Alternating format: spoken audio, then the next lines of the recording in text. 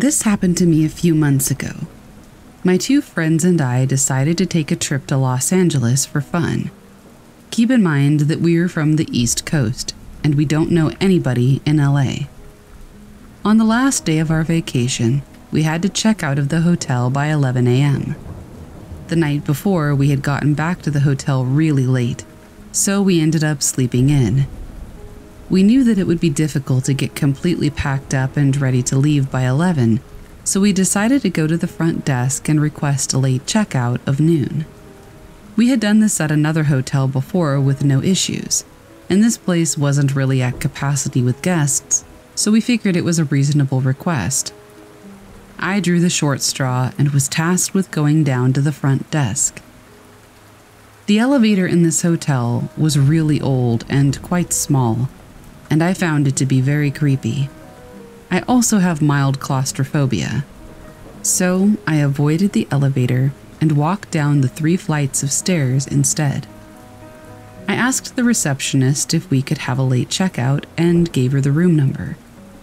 She looked at me surprised and said, Yes, we approved your late checkout already, a few minutes ago.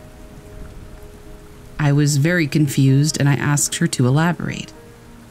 Apparently, a girl had come down a minute or two before me to ask for a late checkout for our room number, and then had walked out of the building. At this point, I figured that maybe one of my friends had, for whatever reason, decided to take the elevator down and ask before I did. I grumbled a bit at this because I had just walked down those stairs for no reason at all, and it didn't make any sense why they would ask me to go and then beat me to it. But I got back to the room, and to my surprise, both of my friends were there. One of them was taking a shower, and the other one was packing. It didn't look like either of them had left the room. So I was kind of like, all right, which one of you's the prankster? They were pretty confused and asked me to explain. So I told them what the receptionist had said, and they were shocked. Neither of them had left the room, and it seemed too big of a coincidence that somebody would have the same request as us at the same time and just make the mistake of giving our room number. I have no idea who that girl was that made the request.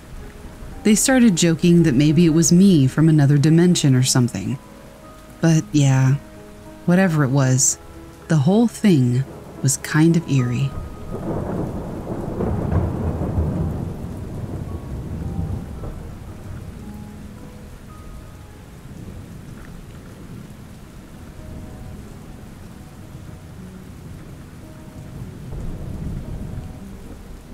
I never really gave much credence to stories about the unexplained or the supernatural. Ghosts, UFOs, cryptids. I lumped them all into the category of campfire tales and tabloid fodder. But one late night drive through the desolate stretches of Arizona's highways changed all that. I was traveling from Flagstaff, a drive I'd made countless times before. It was around 1 a.m., and the night was as clear as it gets the sky peppered with stars.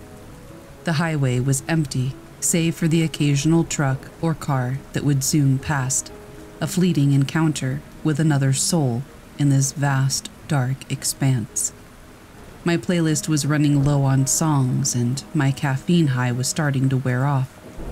I told myself another hour and I'd be in Flagstaff, out of this car, in bed. That's when I saw it. The shape or rather shapes, far ahead on the road.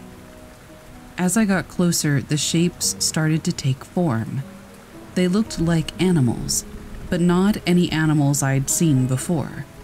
They were large, too large to be coyotes, and their gait was awkward, kind of hunched and erratic. I slowed down as I approached them. They seemed to be crossing the highway, completely unbothered by my car. The first instinct was to grab my phone and snap a picture, but as I reached for it, one of the creatures turned its head to look at me. Its eyes glowed an eerie, unnatural shade of yellow. I froze, my hand hovering over the phone. The look in those eyes was unsettling, inexplicably so. It wasn't just animal curiosity, It was almost as if it recognized me, or recognized that I recognized it. And then, as swiftly as they had appeared, they were gone, disappearing into the scrub and cacti on the side of the road. I sat there, still slowed to a near halt, my hands trembling on the wheel. I drove off, my heart pounding and my mind racing. Rational explanations came and went. Desert mirages, maybe? Or perhaps they were just animals distorted by the dark and my own sleepy imagination. Yet that look, that haunting, penetrating gaze stayed with me. When I finally got to Flagstaff, I couldn't shake off the unease. I looked up local legends and folklore about Arizona's highways and found tales of skinwalkers, shape shifting creatures from Native American folklore. Could that be what I encountered? I didn't know, and I wasn't sure I wanted to find out.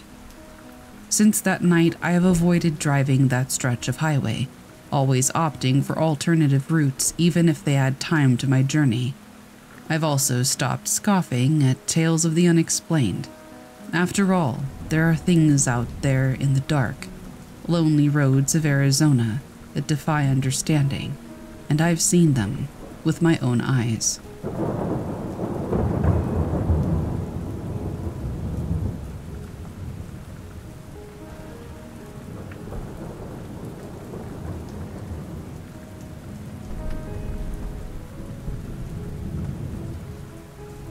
In 2018, a group of friends from college and I decided to go and spend a month in Berlin over the summer.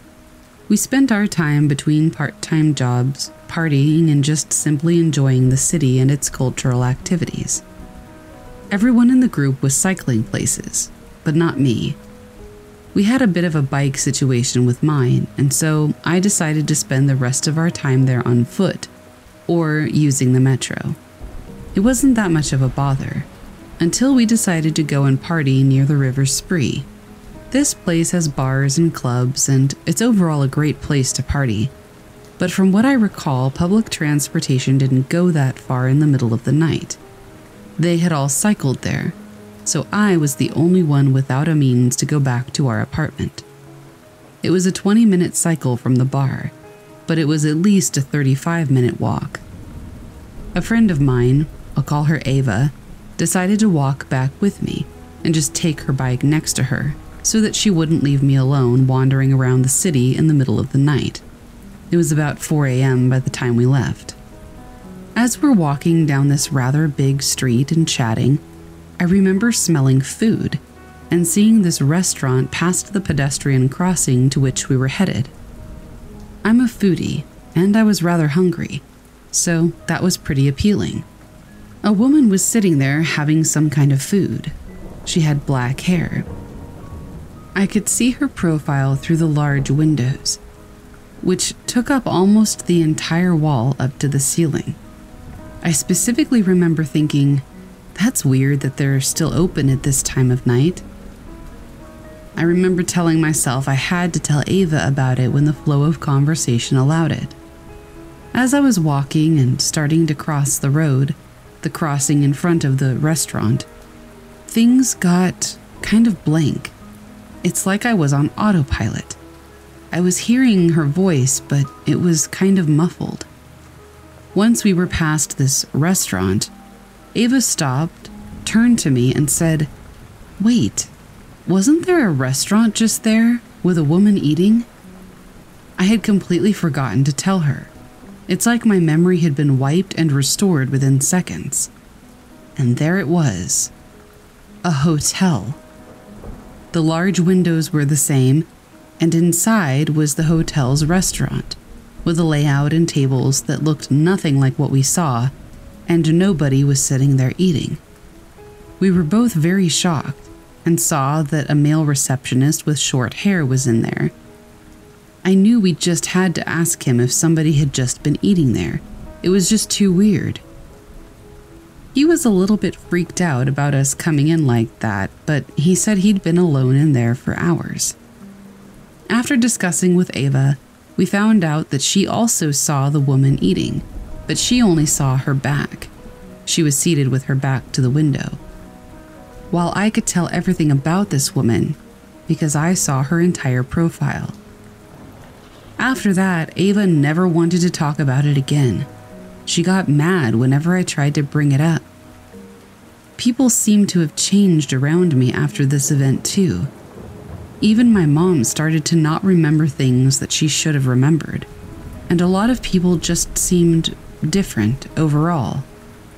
I must also note that I was not drunk, not by a long shot, and staying up that late was really common for me at the time, so I didn't feel sleep deprived either. Also, Ava saw the same thing I did. Interestingly enough, the name of the hotel, that was originally a restaurant when we saw it, is the Grimm Hotel, in reference to the author of many fairy tale stories. All in all, a very weird experience.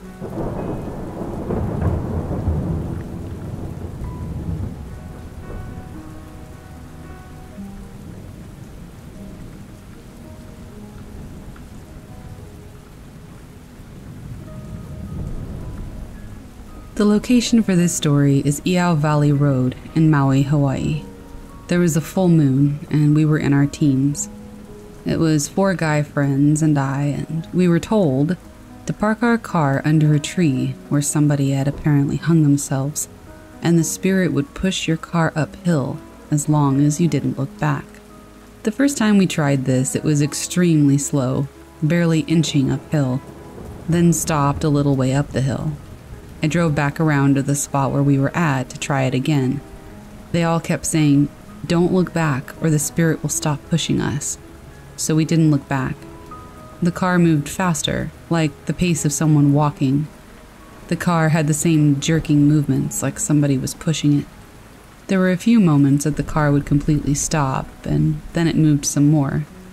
We made it a little farther down the road this time. We were getting really excited, my friends wanted to do it again, but with proof that I was not pushing the gas pedal. So while I was in the driver's seat, I parked under the tree. The gear was in neutral, and I had my feet hanging out the car window as proof that I was not pushing the gas pedal. The car started moving. My friends were laughing, pointing at my feet, saying, Hey, who knows, maybe we'll go faster this time. I saw the car accelerating quickly on its own, climbing 30, 40, 50 miles per hour. We were flying up the hill, and now we were all screaming with pure terror. I tried to get my feet out of the window back in the car as quickly as I could so that I could apply the brakes. Easier said than done. I felt all tangled up and a bit stuck in that awkward position while steering the car. We had sharp turns that you just shouldn't be doing at that speed. By the time I got my feet to the brakes and applied them, we were all the way up the hill where the stop sign was. I could have easily hit oncoming traffic if I hadn't been that lucky. My friends told me that they were so scared that they wanted to go to church and never do that again. Urban legend says there was a guy who climbed on top of his car to hang himself, so that's why he pushes other people's cars away, so that they won't do the same thing.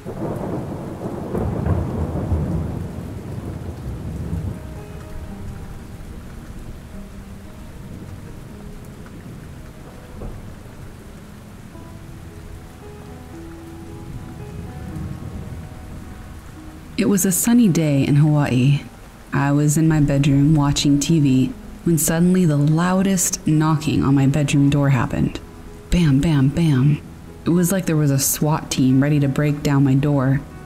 I was a teenager and home alone. It was in the afternoon. I jumped up, pissed, thinking that it was my older sister.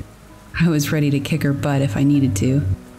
I went to the door to see that no one was there. I quickly looked at each room. Each door was open, showing me that nobody was there. I went outside and ran around the house looking for her in pure rage, but I saw no one. I returned to my bedroom and I heard mumbled voices like someone was talking in the other room. So I checked every room again and ran outside, just to return and only hear those mumbled voices in my room. I checked again in the other rooms and there was no noise. It was only happening in my room. Talk about driving me insane. It made no sense to only hear these mumbled voices in my room and nowhere else. My high school sweetheart came over that day, and I told him what happened. His mom had just passed away a week prior. I had never met her, but he confessed to me that he had hidden her engagement ring in my room. I told him that I didn't want that ring in my house. He said okay and asked to be in my room alone so he could talk to his mom.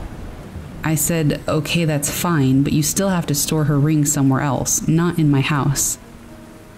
I feared that his recently passed mom might not have liked me from number one, not knowing who I was before she died, and here I am with her personal belongings, and number two, she might not have liked my relationship with her son for some other reasons. She was a bit of a bigot. So, you know, I was scared at this point, thinking these things and now knowing that what happened was supernatural. I guess whatever my high school sweetheart said to his mom worked, because the mumbling voices stopped and nothing weird ever happened again.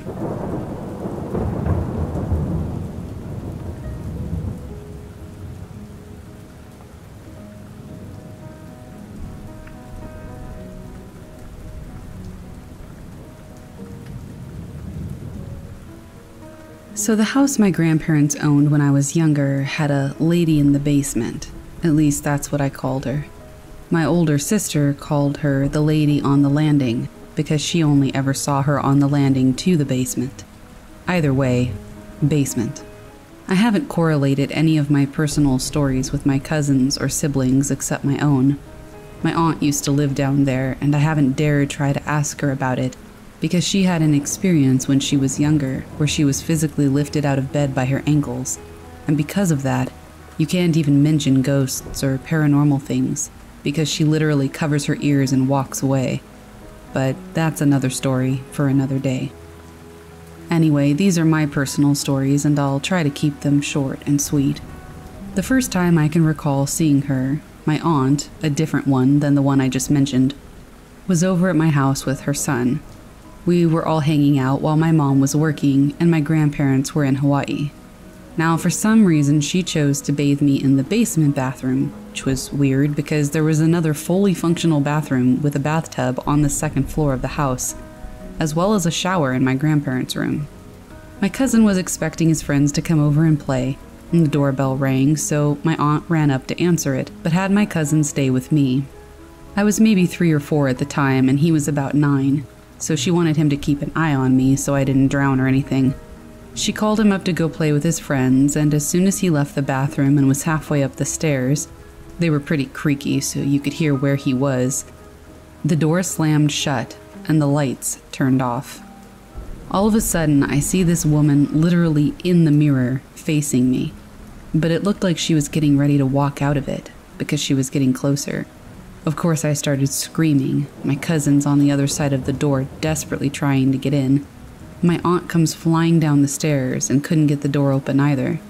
She kept telling me to unlock the door, but hello, I'm stuck in terror and I'm also like four years old.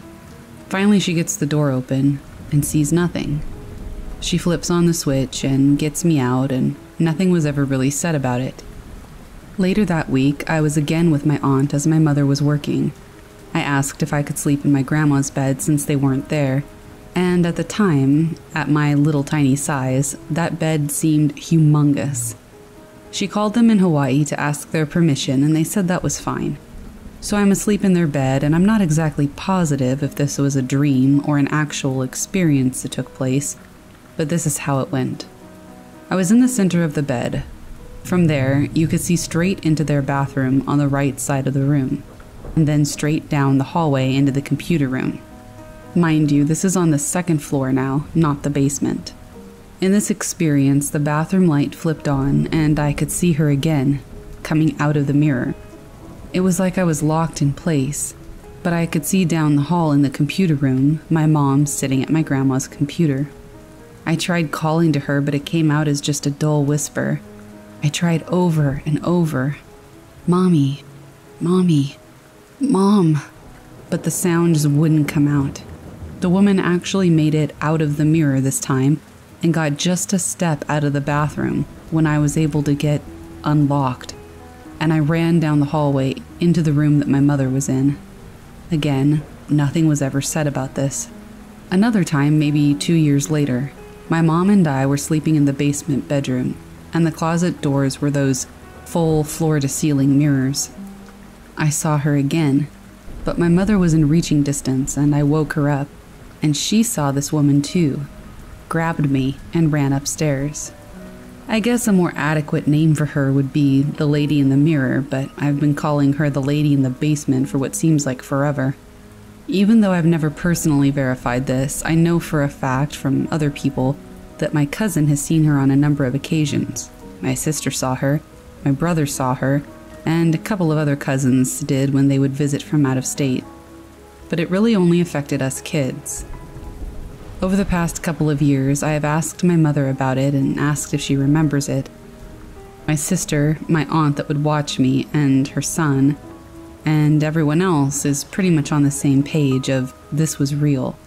My mother's theory is that she was a family member from the past that just stuck with the family and didn't mean to be scary. She just was scary because we weren't used to seeing that sort of thing. I asked my grandpa about it last week over text if he recalls me ever saying anything about her. He replied back, No, and I'd prefer it if you didn't. Now, here's the kicker my grandma passed in December of 2018. I hadn't seen the lady in the basement since that particular house. They moved houses, hell, they even moved states, and I never saw her in any of the other houses. Not once. But after my grandma died, I saw her in the house I was living in that wasn't even close to the original house that I had first seen her in. So I'm wondering if my mom's theory on her being a relative that passed and was just attached to us is true and that when my grandma passed, she followed her but made her rounds to say goodbye or something.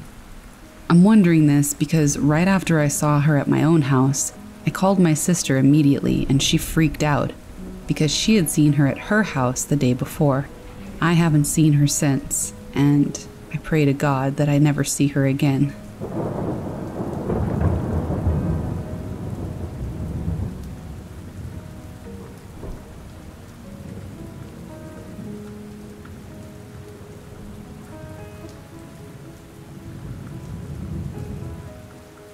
My story takes place on the big island of Hawaii when I was about 10 or 11 years old. My dad was into hunting wild boars and sheep. Sometimes he would take the family with him to stay at a cabin that my uncles had built.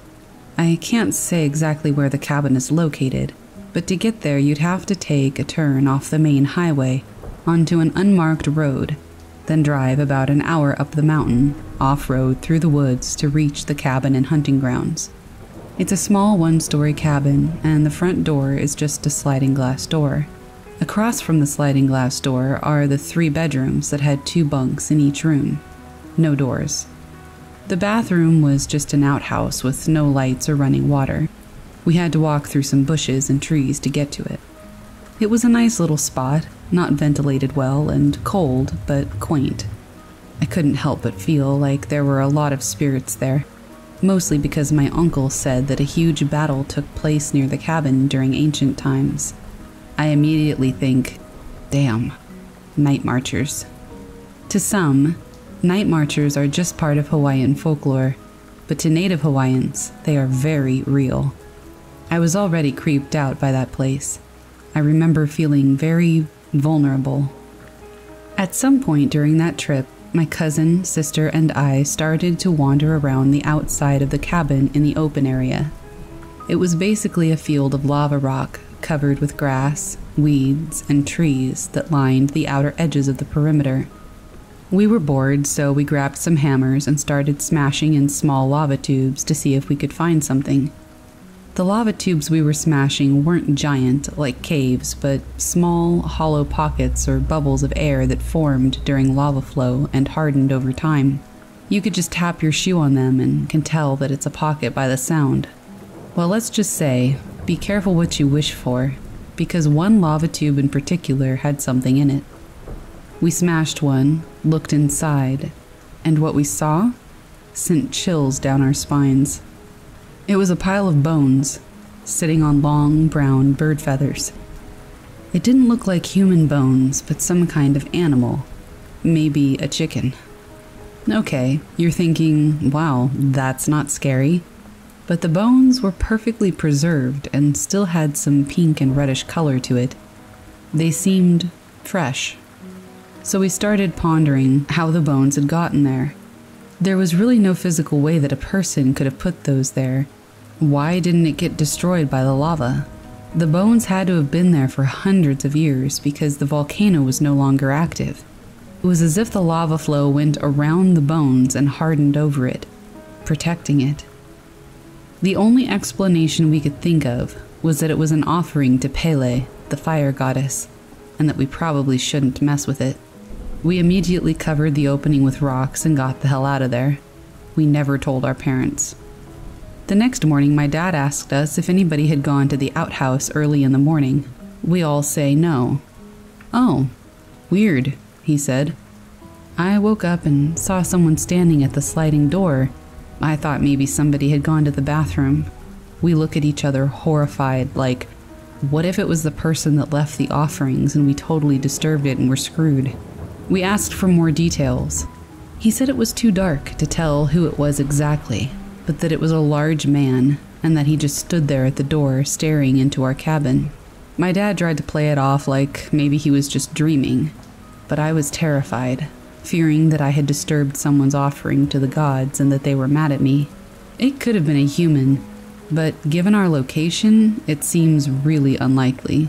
There were no other cabins or homes built on those hunting grounds, and you'd have to know exactly where it was if you went up there to camp. It's not somewhere that people would just stumble upon.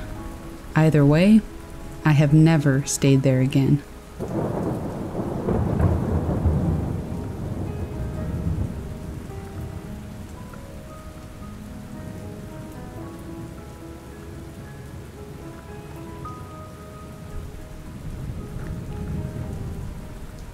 I moved into an old inn up by the University of Hawaii Manoa campus.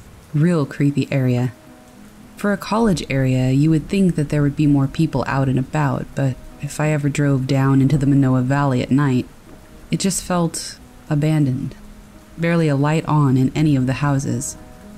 Anyway, I was dating a local, and one day at work, my buddies and I got to talking about ghosts and things that we felt while on patrol at night. Obviously, there's a lot of energy surrounding Pearl Harbor. So when I got home, I messaged her and we started talking about my day. No ghosts yet. One of the questions that I asked her was basically how come she never came to my apartment? Why did I always have to go to her place to visit?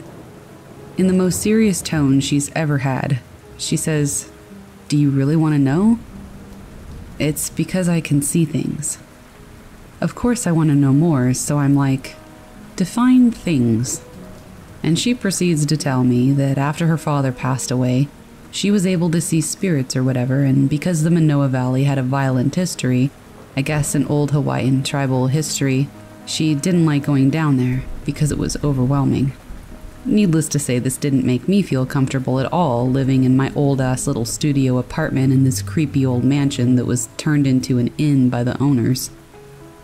So now our conversation moves to what I talked about at work about how I was super weirded out now because before it was just guys talking, but now my girlfriend's telling me she can see dead people and things are taking a turn for the strange and I'm not liking it. I tell her that I'm not going to be able to sleep tonight because I'm officially creeped the hell out. She proceeds to tell me not to worry. She's going to send her grandmother over to keep me company, which she explains won't be her grandmother's ghost, but her grandmother's spirit, and that this sweet old lady's spirit is going to protect me. Yeah, that didn't help me any, but she reassured me that everything would be fine. Grandma would sing me to sleep and comfort me. Don't worry. no way that I'm sleeping that night. No way in hell. Well, guess who passed out shortly after we hung up the phone and slept like a damn baby? This guy, supposedly because of her grandmother. But there was this one thing that woke me up.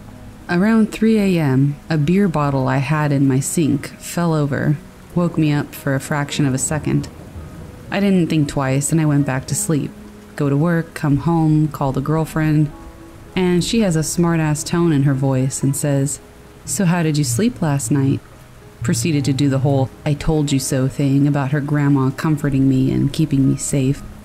And then She goes, I'm really sorry about the beer bottle. My grandma didn't mean to disturb you and wake you, but uh, she did make sure you went back to sleep. Yeah, I was creeped out about that for the longest time. Nothing major ever happened after that.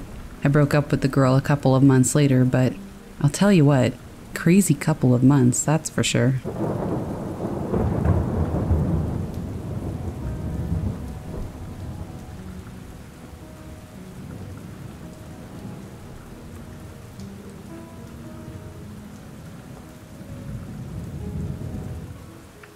Back in 2013, I was teaching English in Shukugawa, Hyogo, Japan for a year. It was truly a dream come true. Well, my English Center's latest class got out at about 10:30, and with it being Japan, I felt completely safe walking home along the Shukugawa River so late at night.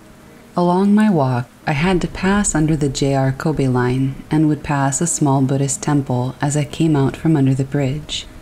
Now, I had done this walk dozens of times by now, and nothing scary, let alone mildly unnerving, had ever happened. It was late March, so the weather was cool and comfortable. However, I noticed that as I drew closer to the temple, it got cooler. Cool enough for me to zip up my hoodie and shiver. As I was coming up the path, I heard the distinct sound of someone praying at the altar. The small gong or bell was rung, a five yen coin clattered at the altar box, and two claps to announce the prayer's presence to the gods were heard. I stopped for a brief second, thinking it was weird that somebody was out so late to say a prayer, but I shrugged it off and moved on. Turning the corner, I expected to see somebody at the altar, but it was empty. I froze.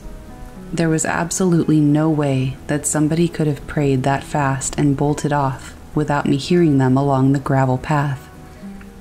It was then that I noticed how still the night was. No bugs or birds, no sounds of the city, and the river to my left sounded muted. The feeling of being watched and unwelcomed washed over me. Slowly, I began to move, the temple now to my back. I took just a few steps before I heard the bell, the coin, and the two claps. Fear gripped me. I broke out into a cold sweat as the shadows of the trees seemed to grow dark and deep. I gathered my nerves and anxiously turned to face the temple. Nothing but a vacant temple. Slowly I turned and started walking again. And then I heard two claps, clear as day, right in my left ear. Needless to say, I bolted the rest of the way home. After that night, I avoided passing by that temple whenever I worked the later classes and opted to just take the long way home.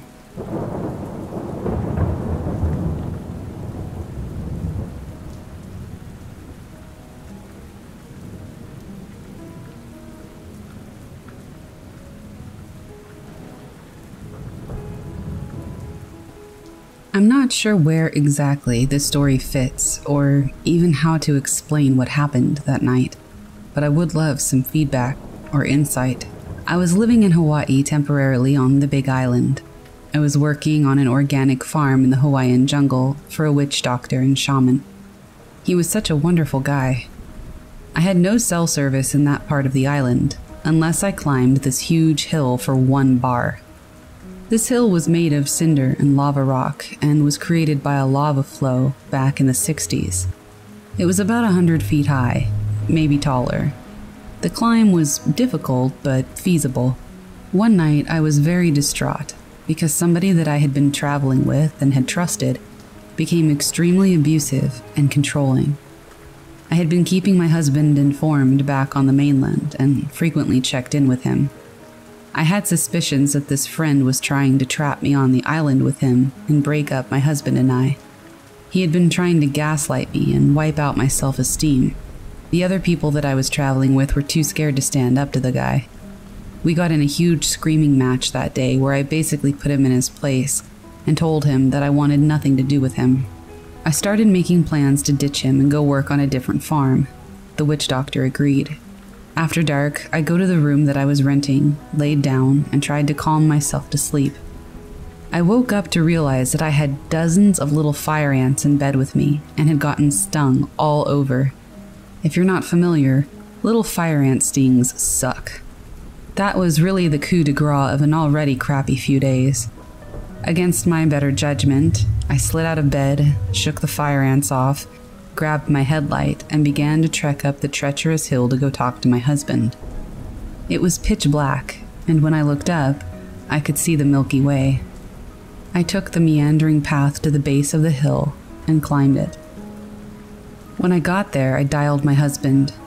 Hawaii was six hours behind my hometown, so it was in the early morning hours for him.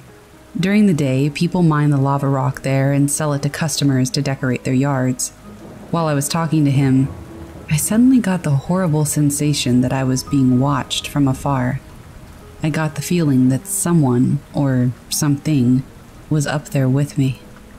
Something felt very wrong, and my intuition screamed that I was in danger.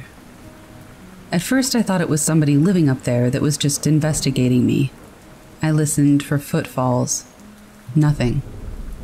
I had been up there during the day and had gotten a really bad vibe before that I had just brushed off as the unknown. The hill was like a narrow cliff, and it was easy to slip off either side because of the unstable lava rock. The feelings I got were unusual because I felt like it hated me and wanted me dead, almost like it wanted to scare me or even push me off the cliff. I was no stranger to this feeling because I've had other experiences in my hometown that gave me similar sensations. This is where it gets really odd. The air became very heavy and thick. It was suffocating. The insects went silent. The frogs stopped chirping. I could have heard a leaf fall, it was so silent. My breath caught in my chest as I froze. It was like the normal sounds of the outside all went silent at once. The feeling of being watched felt closer and more intense. My headlight dimmed, and this massive black thing engulfed me. It not only engulfed me, but my surroundings as well. I couldn't see the trees or the stars. The only thing that I could see was a few feet in front of my face from the feeble light coming from my headlamp. I was totally surrounded I couldn't move, couldn't breathe. It was terror unlike anything I have ever felt before. My light got dimmer and dimmer, and this thing felt like it was closing in, gradually, closer and closer. I got the feeling that it was going to push me off the precipice I was standing on. The anxiety I felt was pure fight or flight. I felt a wave after wave of adrenaline surge through my body. I began to shake all over and my knees became weak. I was totally surrounded and engulfed by this black thing. It was the blackest black I've ever experienced. The blackness looked alive somehow. I had never seen anything this dark in my entire life. It felt sentient, like it knew what it was doing. I could barely think. It felt as though I was being embraced by death. If I so much as breathed, I would die. Finally, it was just too close for comfort. I whipped around in circles and snarled, Leave me alone. Now. Get away from me. In my most aggressive, bigger than I felt tone. I tried to sound as mean and as threatening as possible. I know the sound of my voice had to carry on for miles in each direction. In a split second, I felt the heaviness and suffocating sensation disappear. My light was no longer dim. I could see the trees and the stars again. The frogs and the insects gradually started chirping again. Whatever had been there had gone. I hauled ass down that hill, slipping and sliding most of the way. I went back up there during the day over the next few days, and in some parts, it still had a bad vibe. I've given it a lot of thought, and I can't make sense of it.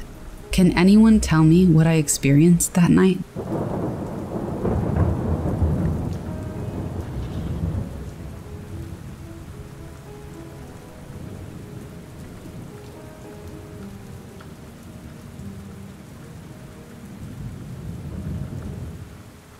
I rented a condo in Hawaii at the Hilton Turtle Bay on the north shore of Oahu FYI, I can get a condo for a week on the hotel grounds for cheaper than a two day stay at the hotel, so that's what I did. I arrived from California, put my stuff down, and headed out for the beach. After dark, I came back and eventually went to bed.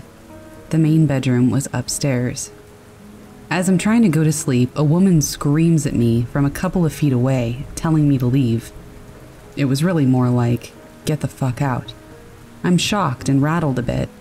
I say to myself, this is just a hypnagogic hallucination, and I try to make myself go back to sleep.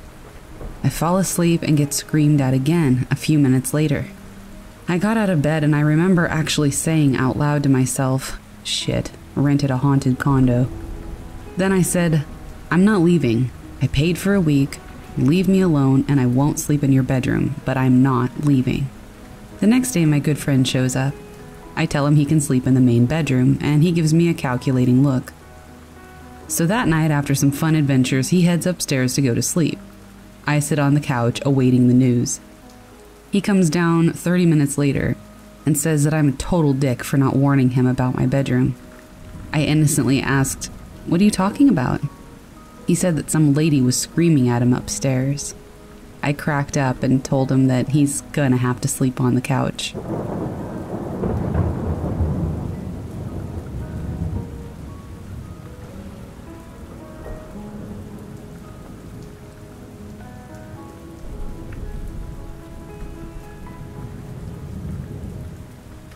Tonight I was having dinner at the Mauna Lani golf course on the big island of Hawaii.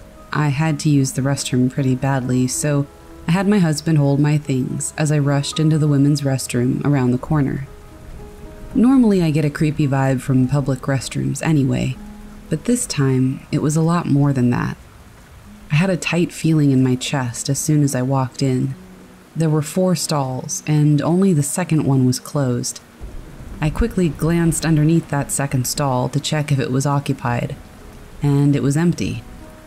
All of a sudden, I started hearing this wailing sound that progressively got louder as I got closer to the third stall, which I had decided to use. The sound got so loud and terrifying that I just couldn't do it and decided to bolt out of there. As soon as I turned around and started to run, I heard something coming after me. I fumbled with the door a bit because I forgot that it was a pull instead of a push. Once I finally turned out of the corner, the footsteps behind me stopped. There was still nobody there. I saw my husband and said, fuck that. He looked confused. I still had to go pretty badly though, so I decided to just make him come with me. I forced him to enter the women's restroom.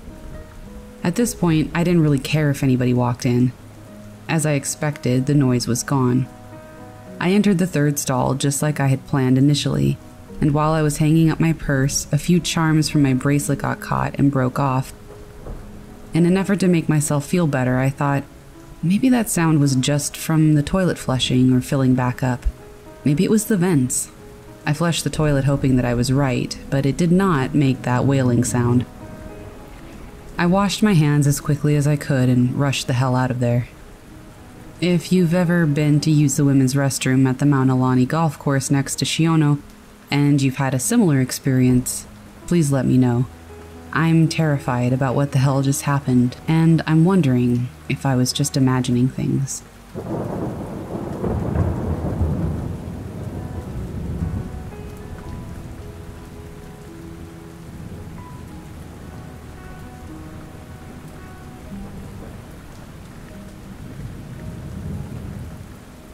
I used to live on a military base in Hawaii. My father was in the Navy, and there wasn't much to do there. I don't know exactly what my age was at the time, maybe around kindergarten? Hawaii didn't require kindergarten at the time, so I wasn't in school yet. I know that at least. Outside of our house, there was a covered car park that people in the community used because the houses didn't have garages and there were various storm drains that were around the car park. I would always play there since it was right outside of our house. Not the brightest, but kids are dumb, right? So one day I was playing there and I thought it would be fun to drop things down the storm drain to see how far they went. I had dropped a couple of rocks and some small sticks, and eventually I ran out of things to throw, so I started saying, Hello? to hear my echo.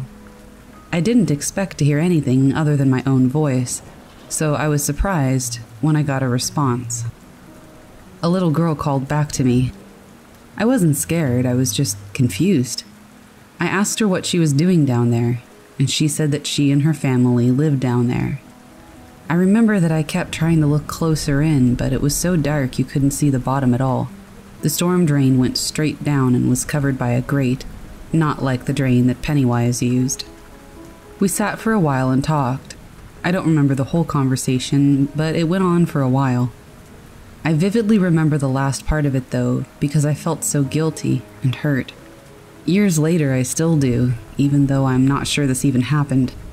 She wanted to play with me, and I said that I could invite her in for dinner, and she got really excited by that idea. So I ran inside and asked my mom if my friend could come over for dinner. She said no, and she wouldn't let me go back out to tell her. The next day, I went out to explain to my friend what had happened, but she wasn't there. I never heard from the little girl in the drain ever again. I remember crying that day. I blamed my mom for losing the only friend that I had made there. I would like to write this off, saying that it was just my imagination considering how young I was. But my mom still remembers this happening and how upset I was and that I told her that she made me lose a friend. So maybe it did.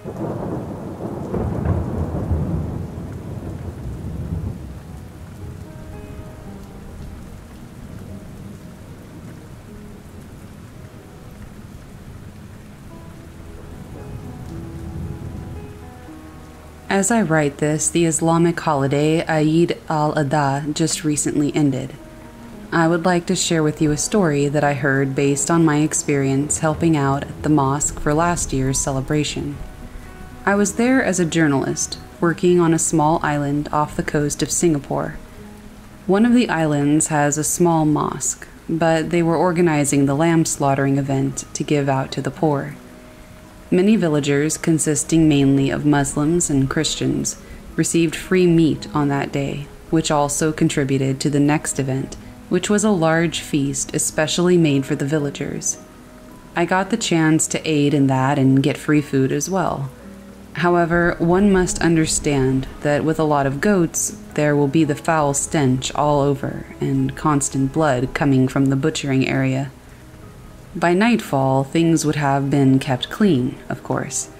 This story is told by one of the staff there that mentions of a tale that will disturb me forever there is this story that revolves around the mosque being used by an unknown cult to summon the goat woman.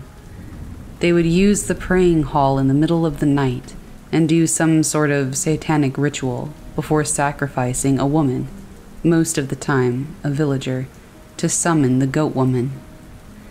Usually, the sacrificed is a young girl in her 20s, a virgin, and she was stripped of all her clothing before she was killed. An axe is placed on the sacrificial table, and several red candles light up before some chanting goes on. And then the spirit of a demon would enter into the deceased's body and rise, placing the decapitated goat head, still fresh, on hers. Blood would drip all over her as she picked up the axe and went after the villagers that killed all the goats. When coming after young virgins, their bodies would be crucified, cut, open by the axe and left on the roads to allow all the villagers to see. According to an old man that lived on that island, the cult consists of satanic worshippers that suddenly came to the island and began performing their demonic rituals one day in the forest. Ever since then, there will always be strange noises coming from the forest the sound of a goat, the screaming of a woman, or the stomping of a large creature. Many people did go missing, but no investigations conducted were able to find them, and so their cases all went cold. The villagers managed to, of course, stop the demon with their exorcism and their guns. They summoned a religious teacher to stop the demon, while a priest from the nearby church also aided the villagers. However, this account varies, as some say that she escaped into the forest with her cult, coming out each night to kill young girls. This could be the reason why most girls are given curfews to protect them from the goat woman.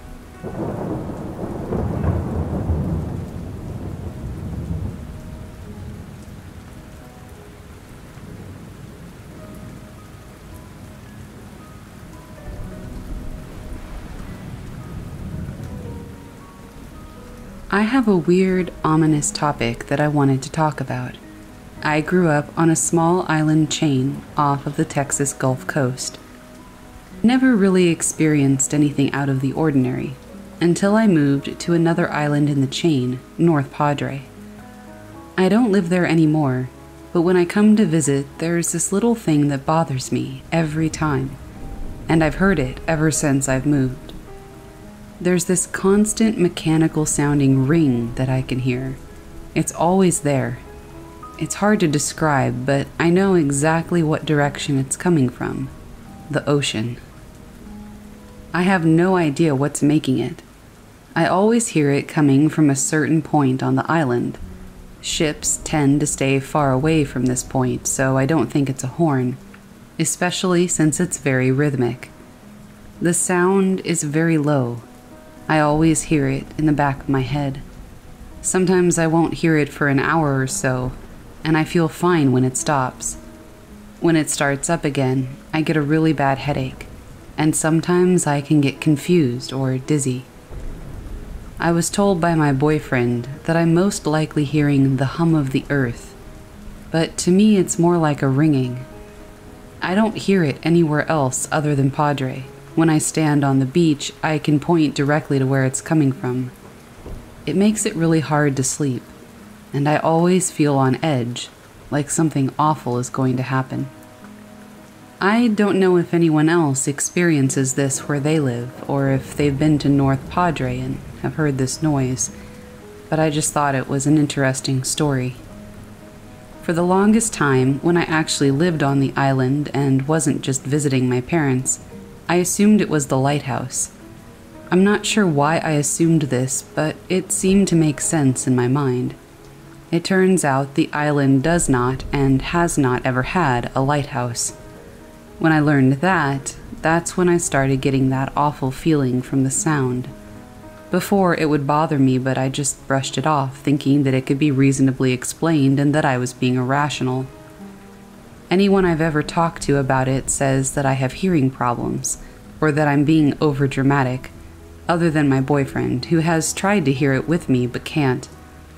I've always had sensitive hearing, and over the years I've been clinically diagnosed with PTSD, and I have developed a trigger for alarms and rings, especially fire alarms, even though I've never been in a fire. I've gotten a whole lot better at picking out individual sounds and where they're coming from I use this to calm myself and figure out why something is going off so I can rationalize it and not have a panic attack. So far, I haven't found an explanation that quite fits for this sound, and I think that's what bothers me the most about it. I can't rationalize it, because every time I do, somebody disproves my thinking. Like the lighthouse, the ships, the military base, church bells. We have one teeny tiny airport the military base is all the way on the other side of Corpus, and out of the four churches on the island, only one has a bell, but it's broken. I'm always on edge and anxious as I have no idea where it's coming from. I mean, the actual source. I just know the direction. Maybe I am just a crazy person whose PTSD is taken over, but I sincerely believe this sound is real and coming from the ocean.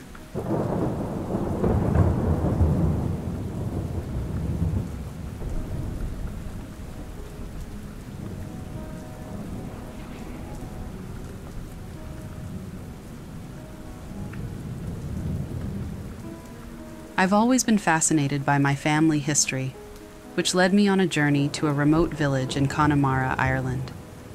My family's roots were supposedly traced back to this quaint, picturesque place. The village was the kind of place where time seemed to stand still, with rugged landscapes and a deep sense of history. I visited the local parish to learn more about my ancestors. The parish priest was kind enough to let me look through the old records. I spent hours poring over dusty ledgers and faded manuscripts, tracing back generations of my family. But as I delved deeper, I stumbled upon something unsettling. There were records from the late 1800s that hinted at a sinister secret in the village. It seemed that several of my ancestors were involved in some sort of dark pact or ritual. The details were vague, but it was clear that it was something the village wanted to forget. The more I asked around, the more I felt a resistance from the locals. It was as if there was an unspoken agreement to keep the past buried. However, an elderly villager eventually confided in me. She spoke of an old legend, a tale of a pact made with a malevolent force that promised prosperity in return for unspeakable acts. The legend was tied to my family, and the impact of their actions seemed to linger in the village. Strange occurrences, unexplained disappearances, and a lingering sense of unease were all mentioned in hushed tones. I left the village with more questions than answers. The beautiful landscapes of Connemara now seemed to hide a dark, troubled past. The truth about my family's history was more complex and disturbing than I had ever imagined.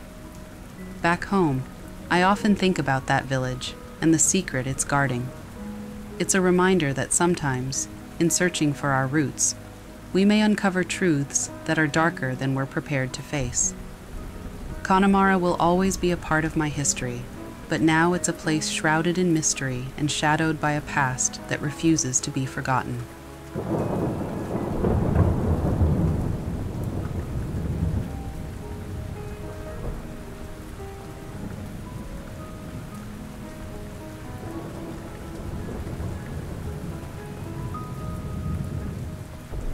This is what I believe to be the truth. I'm totally open to the possibility that it was a hallucination or a trick of the eye or anything else. I'm honestly just looking for some ideas. For some background, I have had some experiences seeing shadow people as a child, but in the past 10 to 12 years, I haven't really experienced anything other than a weird shape in my peripheral vision or a strange feeling of being watched. Nothing too major. That was until the night of the 23rd of December. I couldn't really sleep that night because I'd been working a late shift and was still kind of in an energetic mood. Weirdly, though, that afternoon when I was sitting on my bed putting my shoes on, I could have sworn that I felt something touch my foot from under the bed. I didn't really pay much notice to it. I just remember thinking, oh, that's weird. But it was the middle of the day and I was running late. Anyway, that night, once I did finally get to sleep, I kept being awoken by scratching noises. Now, that sounds a lot scarier than it is because we always get mice in our attic at winter, so it really wasn't anything new or scary. However, the third or fourth time it woke me up, it startled me because it sounded different. This time it sounded like. I guess I would say it sounded like someone really lightly running their finger along the wall not scratching at it or anything, just like when someone very lightly runs a finger along a wall. I also noticed that my wardrobe door was open. In my culture, there's a lot of superstition surrounding specifically wardrobe doors being open. I actually have a string keeping it closed, which would have to have been untied in order to open the wardrobe. This immediately made me think that something spooky was afoot, but I was so tired that I was just happy to ignore it. Anyway, I turned on the light, and of course, there was nothing to be seen, so I got a drink, took a few breaths, and went back to sleep. I then woke at about 7 o'clock, lying on my side facing the wall. For some reason, I got this overwhelming urge to turn around, and before I knew it, I was already rolling over. I noticed that there was what looked to be a shadow man, standing about one meter away from the side of my bed. I got the feeling that it was facing me, but peculiarly, it had no head. It wasn't like it had been decapitated or anything gruesome like that. It just had an uninterrupted line across from one shoulder to the other. As well as that, I remember it not having any hands, like its arms just ended in a sort of rounded point. I also immediately noticed that it was quite small, maybe five feet tall, possibly less. I'm 5'11 and I could tell it was a decent bit shorter than I. I did not feel threatened at all at the time. I just saw it and thought, oh wow, this is actually happening. And then immediately thought, this isn't what I imagined he would look like. For reference, as a child, I remember frequently seeing a huge shadow figure pretty often. So, in my mind, that's what a shadow person was supposed to look like. Anyway, I kind of snapped out of it and dove for the light switch. This meant passing the entity in order to reach the switch. It didn't move or run or anything, it just stood still. When I passed it, though, I did notice a coldness in that area and the air feeling thick or dense. That's really the only word I can think of. As soon as the light was on, it began to fade into like a smoke, but there was still a clear outline of it for a few seconds. The best way I could describe it is like you know when it's really hot outside and you can see the heat waves rising off the road? Yes, well, it looked exactly like that wavy air, but in the shape of the shadow. I'm from Ireland, and assuming this is one of the Aos Sí, I asked it to leave in Irish. I then felt the newfound sense of dread momentarily lift. But when I sat back down on my bed to kind of process my thoughts, I felt a rush of cold air come toward me, and I did feel a sense of anger or annoyance. But I can't explain where or what it was coming from. It was almost like the air was angry at me. Naturally, I decided that this was a battle I was not willing to fight, and I left the room. As soon as I closed the door, though, I noticed that my two pet ferrets were both wide awake and had all of their fur standing fully on end. I brought them both into my room then, and they both immediately started hissing and puffing up their fur at something. I've never in my life seen them act this way, so it really did freak me out. I had been hoping to just pass this off as some sort of hallucination, but their actions unfortunately made me feel quite justified in my fears. I initially worried that it was the Fear Dorcha of Irish folklore, a shadow man of the Aos Sí who acts as a warning of your death. But it doesn't fit any of the descriptions of him from our mythology, which honestly was the best Christmas surprise ever. Fully thought I was a goner there for a while. Anyway, if you made it this far into the story, thank you, and please let me know if you have any ideas as to what this was, if I handled it wrong, or what I should do in the future.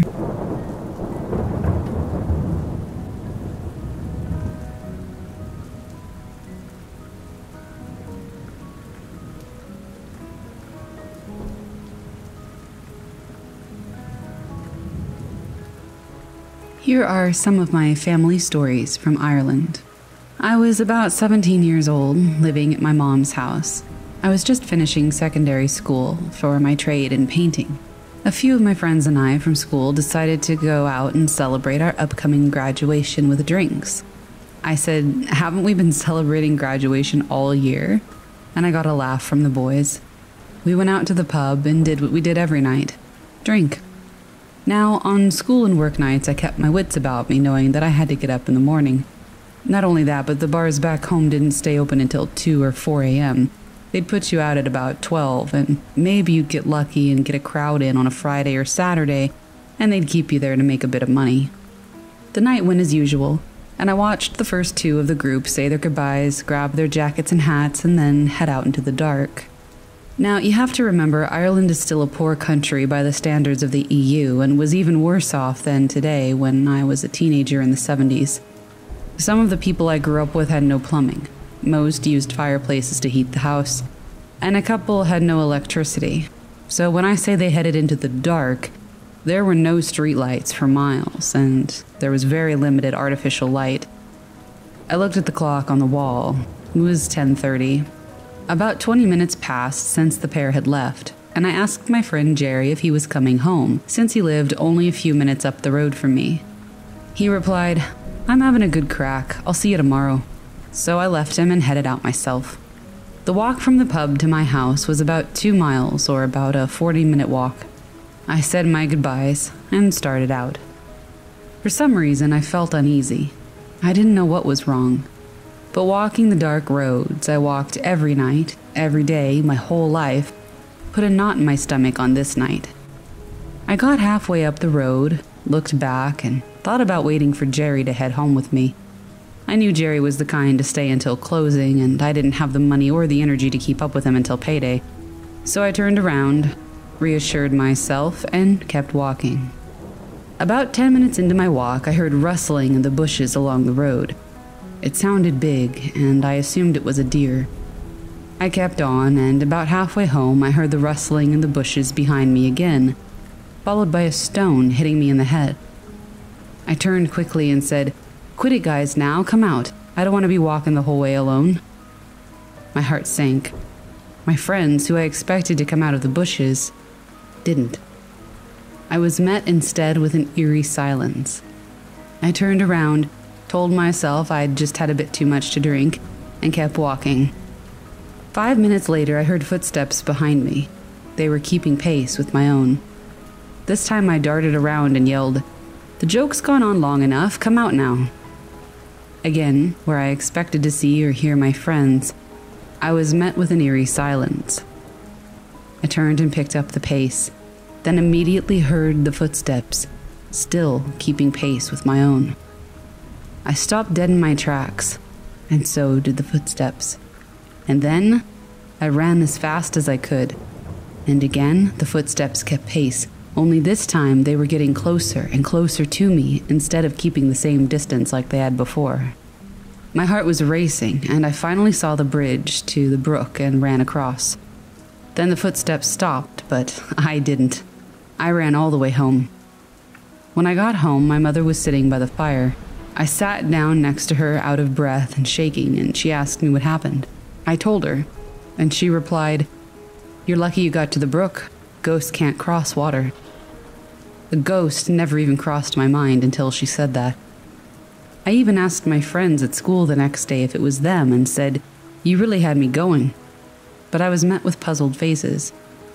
Later, I found out the last three of the group didn't even leave until closing, almost an hour after I started out home. It may not have been a ghost, but what's scarier is truly not knowing what it was at all.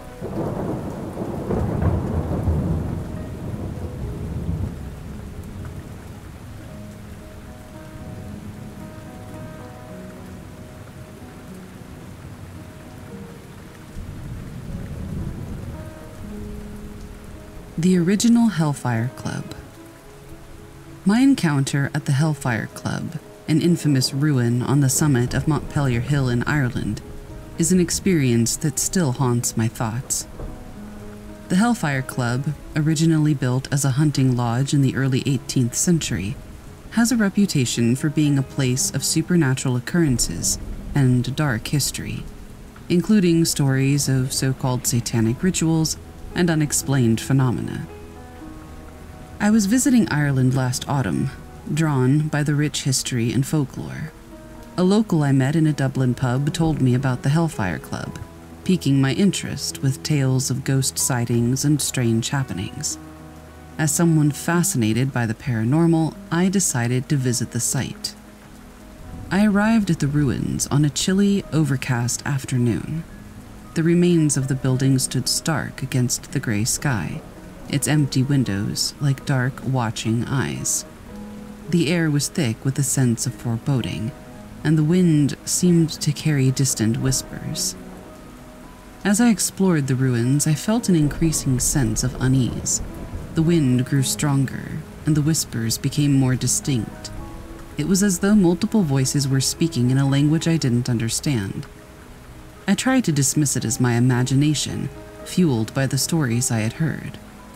But then, in the main gathering room, where the Hellfire Club once held their meetings, I saw something that stopped me in my tracks. A shadowy figure, cloaked and hooded, stood by the fireplace. It was so clear and defined that I thought it was another visitor. But when I called out, the figure slowly turned toward me, its face obscured by the hood. And then the figure began to fade, dissolving into the air until it was gone. The whispers fell silent. I stood there trying to process what I had just seen. A bit shaken, I quickly left the ruins. The way back felt longer than the hike up, every sound making me jump. Back in Dublin, I did some research on the Hellfire Club. The stories ranged from the mundane to the bizarre tales of wild parties, occult practices, even murder. Some believe the club's activities invited something dark into the building, and some think that that presence lingers to this day. I don't really know what to make of my experience at the Hellfire Club. Whether it was a ghost or a trick of the light or something else, I can't really say for sure. But the memory of that cloaked figure is something that I will never forget.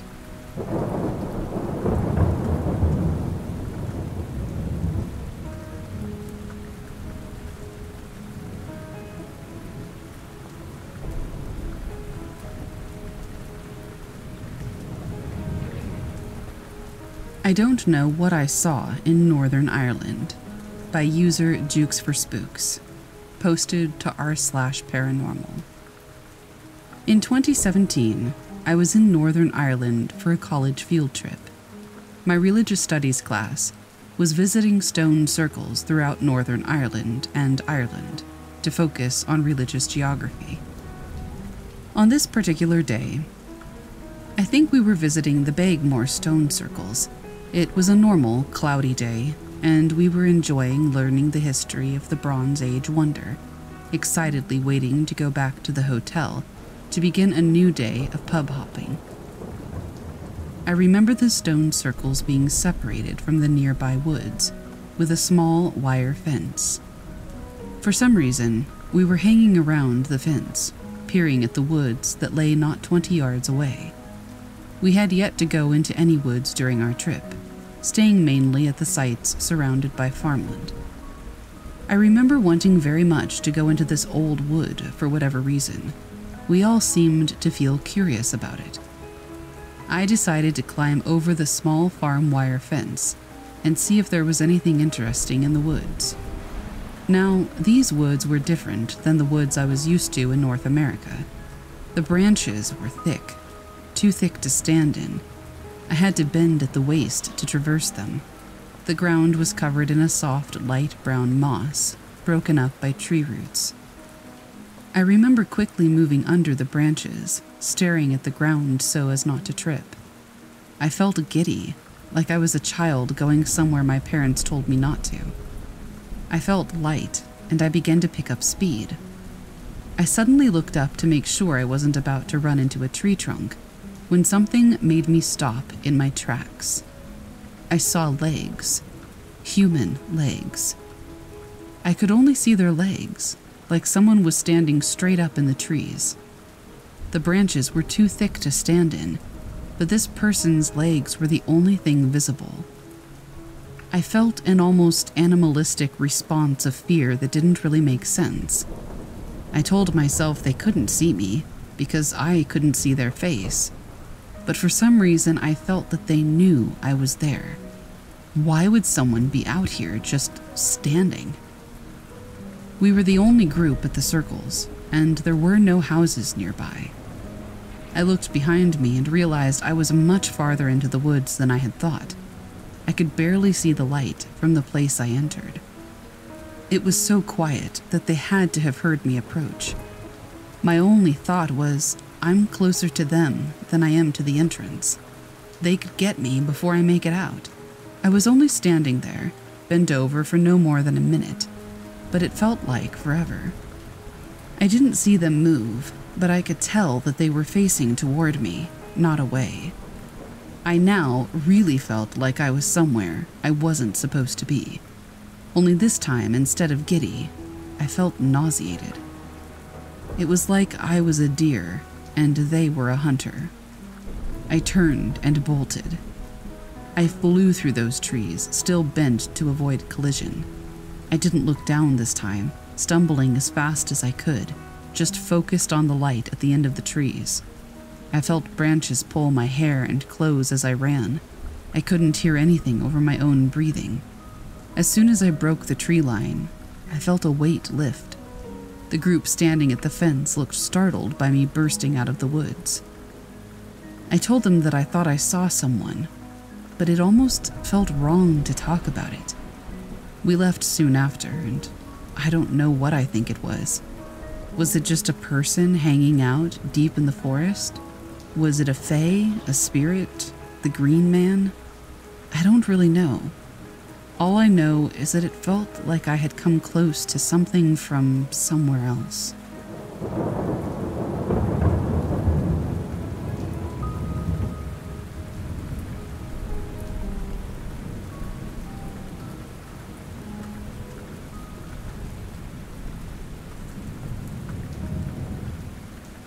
The Shadow of Charles Fort.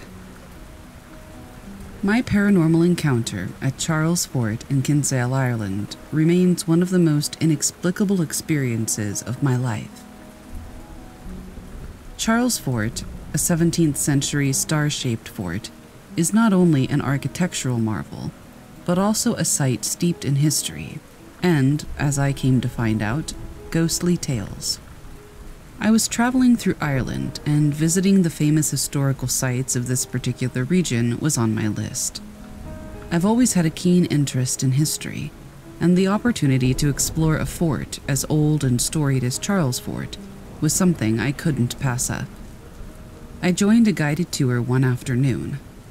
The weather was slightly overcast, typical of an Irish day, adding to the fort's somber ambiance. As the tour progressed, our guide told us about stories of the fort's past, including tales of battles and sieges.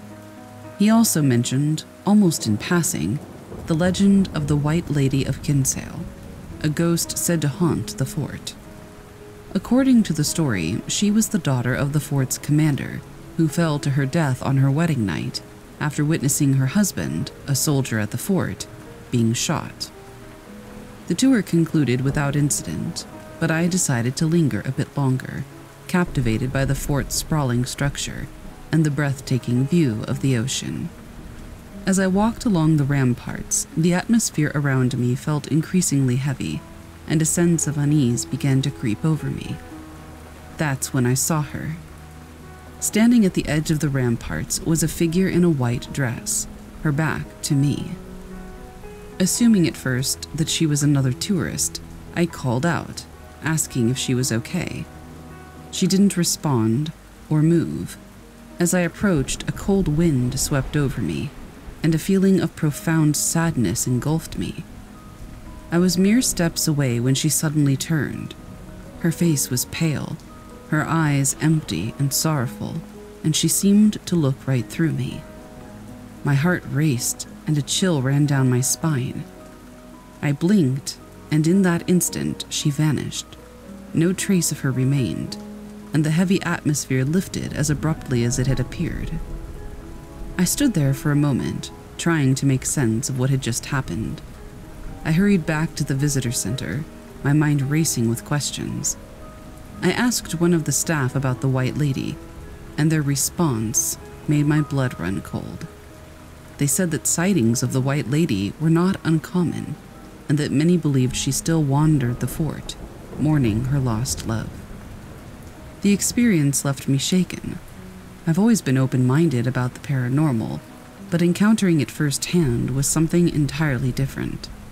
The encounter at Charles Fort has stayed with me, and since then I've read more about the fort and its ghostly inhabitant, delving deeper into the legends that surround it. But no matter how much I learn, I can't seem to detach from that sorrowful figure standing at the edge of the world, and I have a feeling that she will always be with me.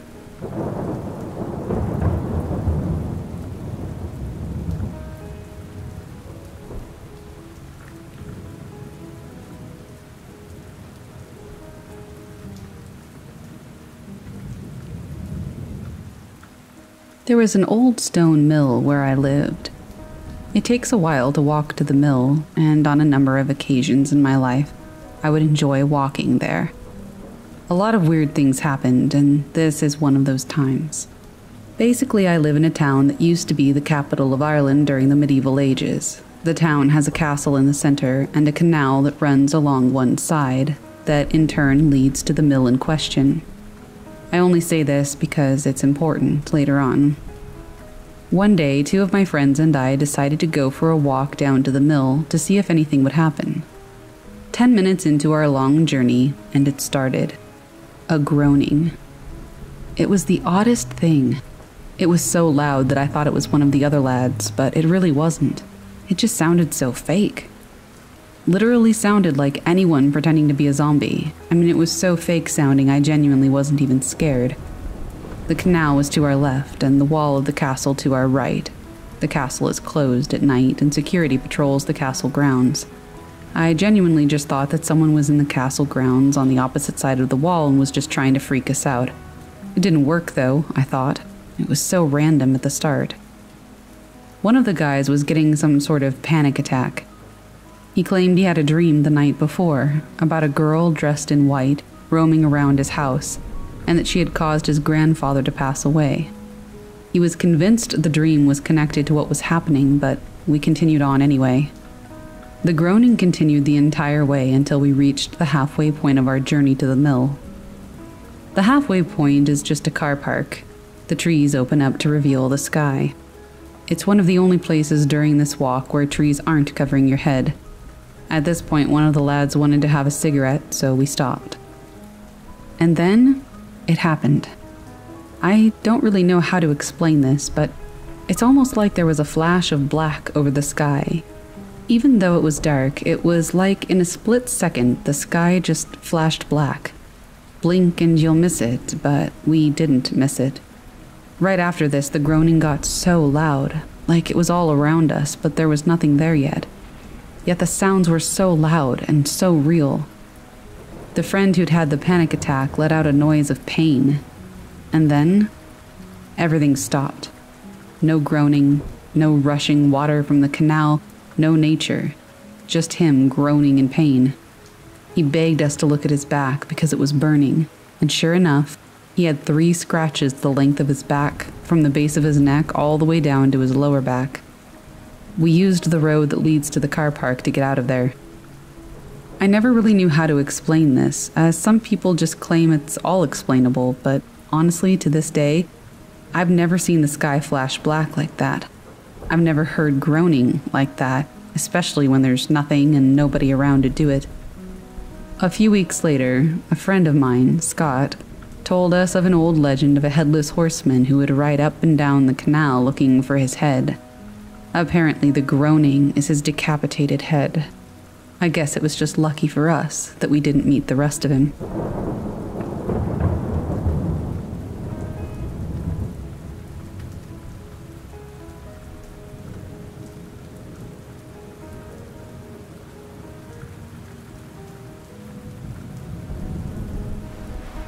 My grandmother is one of those people who seems to just be naturally susceptible to paranormal activity. She's in her late 70s and has numerous stories about all sorts of spooky and unexplainable encounters she's had throughout her life. She used to keep me entertained for hours, with me getting her to constantly tell and retell her stories again and again. It's the way she tells them, I think, that really invokes a sense of fear. Hopefully, I can do her justice with my recounts, as she's not quite up to speed on Reddit. The house she grew up in throughout the 50s was haunted, undoubtedly. We'll start with the time that she was walking home from school as a 10 year old girl. She grew up in Belfast, Northern Ireland, in a typical city style terraced house, maybe 50 houses joined together on a long, narrow street. There was no one immediately around her as she walked home from school one brisk January afternoon, except for one gentleman walking maybe 20 yards in front of her. He was wearing a long black overcoat with a bowler hat, not something that would raise any eyebrows at the time. Suddenly, my grandmother noticed the man stop in front of her house, open the little gate at the front of the small garden, walk the five yards down the path to her front door, open it, and enter the house. Still, she thought nothing of this, simply assuming the man was a friend of her parents, or a colleague of her father's of some kind. Oddly, however, when she got to the front door and went to open it not moments after the man, the door was locked. She thought this strange, as the man had just pushed it open and walked in. Not too weird, though, right? Someone may have just locked the door behind him. What was strange, however, was that upon entering the house not 45 seconds after the man in black did, she found herself to be the only one in the house. No parents, No man in black. Nobody. My grandmother often speaks of the noises she used to hear lying in her bed at night. And by noises, I mean a horrible, blood curdling wheeze coming from, of all places, directly under her bed. She described it as the long, drawn out breaths that you would imagine coming from a 90 year old, 40 a day smoker on their deathbed. This would happen night after night after night. She used to run downstairs to tell her mother about the man under her bed, but her mother was a stern Christian woman and would have nothing to do with it, often scolding her and sending her back to bed for telling the devil's tales. She explains how she used to just cover her head with blankets and pray for the wheeze to stop, crying herself to sleep most nights. The last story that I'll mention for now again takes place in the same house. My great grandfather was a policeman and often worked in a regular shift pattern. The house had a small hallway upon entering the front door, around 5 by 5 foot, just large enough for a coat rack and the stairs to begin. Immediately to your right, when entering the front door, was the living room. Most evenings after dinner, my grandmother would sit in the living room and listen to the radio with her sister, while her mother knitted or sewed. Rather regularly, they would hear the front door unlock, open, and close, the hall light switch flick on, and the rustle and knock of a coat being removed and thrown on the coat rack. My great grandmother would say, Oh, that must be your father home, or something of the sort, before going to greet him in the hallway. On numerous occasions, though, they wouldn't be able to find him immediately and they would assume that he'd gone upstairs. They would go upstairs to welcome him home, but to no avail. There would also be no coat on the rack. And then, 15 or 20 minutes later, her father would arrive home. It just so happens that my grandmother found out years after moving out of that house that a single man had lived there alone for years and died in the very room that she slept in as a child. Apparently, he had some kind of respiratory condition.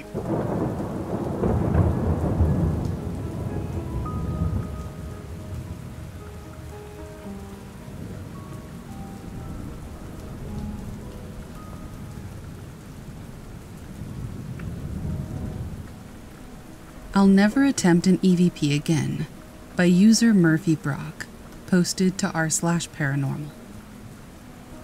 I lived in a haunted house in Ireland. It was the house I grew up in, and it was left to me in a trust. At some point, the trust turned the house over to me. However, in the expanse of time between my stepmother's death and the age of the trust at which point it could be given to me, the acting trustee left the house and property under my care, even stating that I could live there expense free. It was a late 50s Newport style home, with 14 acres atop a scenic hill. I had dreamed for almost my entire adult life of retiring and being home again.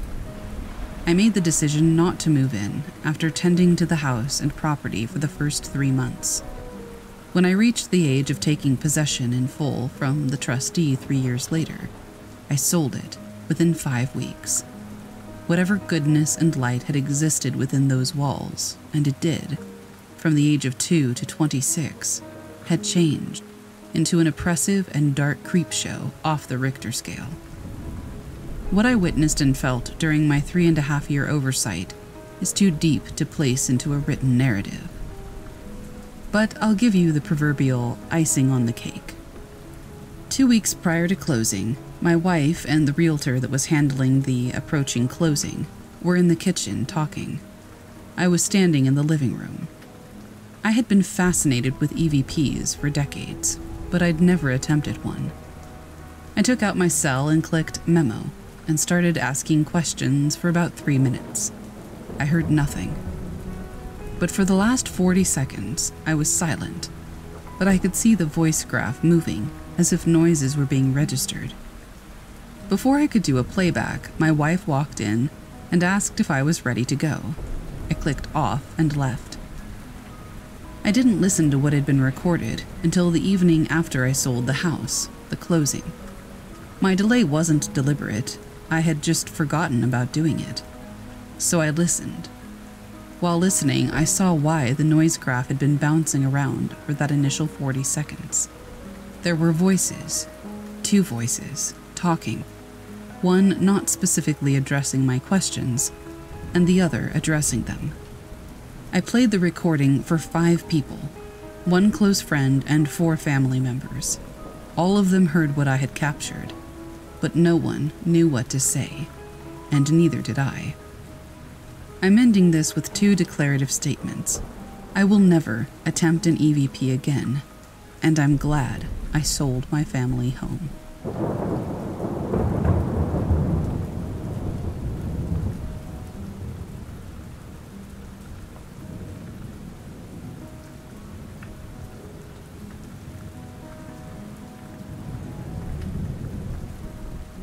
I lived in a haunted house in Ireland by user John Von 1, posted to r slash paranormal. Make of this what he will. Back in 2009, Ireland was going through the recession, but I managed to buy a house. It was a nice little cottage. It suited me perfectly, as I was a single man. I did shift work, so it was nights and days, days and nights Initially, I thought it was because I wasn't getting enough sleep, but things started to happen within the house that I couldn't explain. For instance, one night I was doing some ironing. I put a towel on the railing in the bathroom and went back into the kitchen to get some more clothes to hang and put away. I came back up, and the towel that I had put on the bathroom railing was strewn across my bedroom floor. My first thought was that there was someone in the house with me, so I ran back into the kitchen and grabbed the frying pan. It was a small house, so there was nowhere for someone to hide. After a while, I reasoned that it couldn't have been an intruder because the door was locked and all the windows were shut. It scared the life out of me, but I convinced myself that I wasn't paying attention and that I might have actually left the towel in my room even though I knew I didn't. But things only got worse as time went on, and couldn't be dismissed so easily. It got to the stage where I was actually afraid of being in my own home. For instance, coming in from work, particularly at nighttime, there was a light switch on the wall by the doorway. I'd have to switch that one on before I would even open the door fully. I was so terrified that I wouldn't even look into the darkness. Sometimes, when I'd open the door at nighttime, there'd be a gust of wind coming out from the house to greet me. But it eventually got to the stage where I was beginning to wonder if I was losing my mind. This went on for months things going missing, curtains being closed when I left a room and being partially open when I came back in minutes later. The final straw was when I actually saw something. I arrived home one night at about 3 a.m. after being at work. I opened the hall door and switched on the light. Just to give you a picture of the layout of the house, it was quite small. There was a hallway, and down the end of the hallway was a doorway to a bathroom that was out the back, and the kitchen was to the left. So this night in particular, I switched on the light and opened the door fully to be greeted by all I can say was a big man's shadow, and this thing was standing at the end of the hallway. Now, how it was a shadow is beyond me, because there were three spotlights running down the hall and they lit up everywhere. But this shadow stood within the light, and it was facing me. Every hair on my body stood on edge. The fright and the fear and the panic was so intense I roared out, Leave me alone! Just leave me alone! And with that, whatever it was, it turned sideways, and I could see the whole profile of his face. Then there was a massive bang, and a chair was sent flying up the hallway toward me. I legged it out of the house, got back into my car, and traveled back up to my parents' house. I was so distraught I had a brother living in our parents' house at the time, and he thought I'd been in some kind of an accident. I tried to explain it to them the best that I could what had happened, I hadn't said anything to anyone about the goings on in the house up until that point, and I'd been living in it for about six months, and it had been going on that whole time. Almost every day something happened. Being terrified in your own home is a horrible feeling. My brother and I drove back down to the house the following day, and we found the chair that had been thrown at me in the hallway on top of the kitchen table.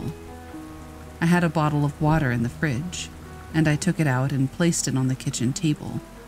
As my brother and I were talking, the bottle just burst. It was as if somebody had shaken a Coke can and opened it, and then it just went everywhere. Every surface of the kitchen seemed to have water on it. I sold the house about six months later. During the months between putting the house up for sale and eventually selling it, Strange things continued to happen within the house, like things going missing and curtains being moved. Thankfully, though, I never saw the apparition again. One night, I was lying in bed. It was about 1 a.m., and coming from the back of the house, I heard a woman's voice say, No doctor, please. Help me. Petrified, I leapt out of bed and turned on all the lights. I searched everywhere, checked that the door was locked. It was, and the windows were all shut. The television was plugged out because it sometimes turned on by itself. Same for the radio, which was also unplugged. I'll never forget the sadness in her voice and the way she said it. It wasn't, no doctor, please help me. It was, no doctor, please, help me. Like, for some reason, she didn't want me to bring a doctor. I was so glad to be out of that house when I finally sold it. When I was living there, I had asked a neighbor, and he told me that the couple who had bought the house off, the wife had been complaining about hearing things in the house.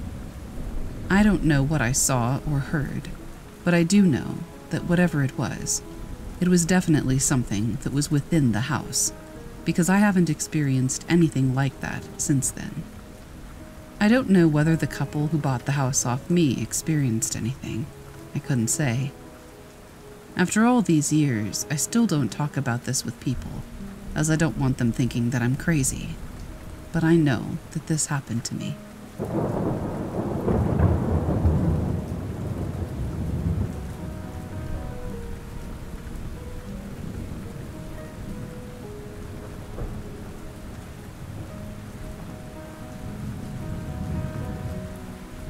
This happened early, around 5 or 6 in the morning, and I was fast asleep. I was about 10 years of age. So I was sleeping and gradually woke up in a nice, relaxing way. I didn't jump up or startle or anything like that. I rolled over to face the wall. I always go to sleep in this position. And as I rolled over, there was a man dressed in all white with a white glow around him. In his hands, he had rosary beads, and he was praying with his head bent down toward the ground. At this point, I was literally frozen solid with fear and stuck in the spot I was in. I pulled the covers up over my head for a split second, and then realized that I could move, and I ran downstairs to my parents' room. I've seen a ghost. There's a ghost in my room, I said. Son, there's not. You've had a nightmare. Go back to bed. I refused to go back to my room. I fell asleep in their bed. A couple of hours later, the house phone rang, probably at around 7 or 8 a.m. on a Saturday morning, which is highly unusual. My dad answered the phone. Hello? What? How? Right, okay, I'm up. I'll be over as soon as I can. Is everything okay? My mom asked. No, my brother Tony has died. I never met my Uncle Tony. He lived in England and we live in Ireland. He was only 30 and died peacefully in his sleep. My dad brought some photos to show me who he was and to tell me about him. And that's when I realized this was the man who had been kneeling beside my bed praying.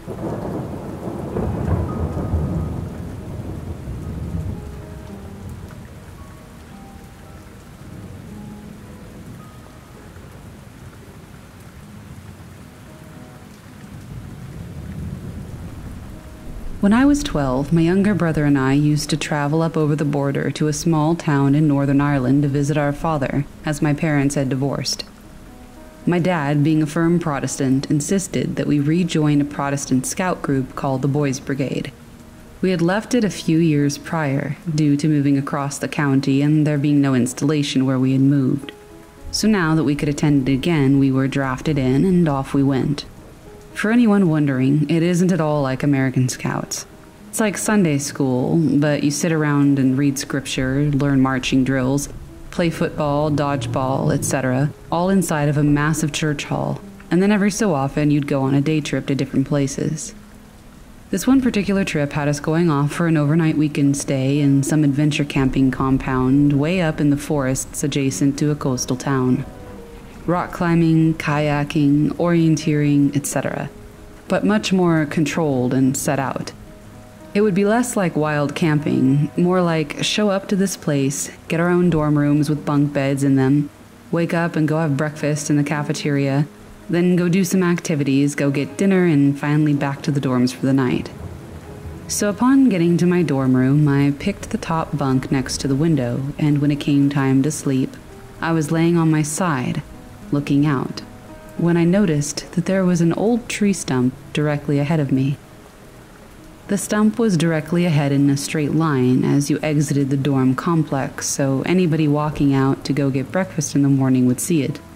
You couldn't not notice it, as it was just there. So the next morning I woke up late and everyone else was already walking down to get breakfast. So I pulled my clothes on and ran down to catch up. As I exited the main doors, I saw a woman in a white dress sitting on the tree stump, just combing her hair.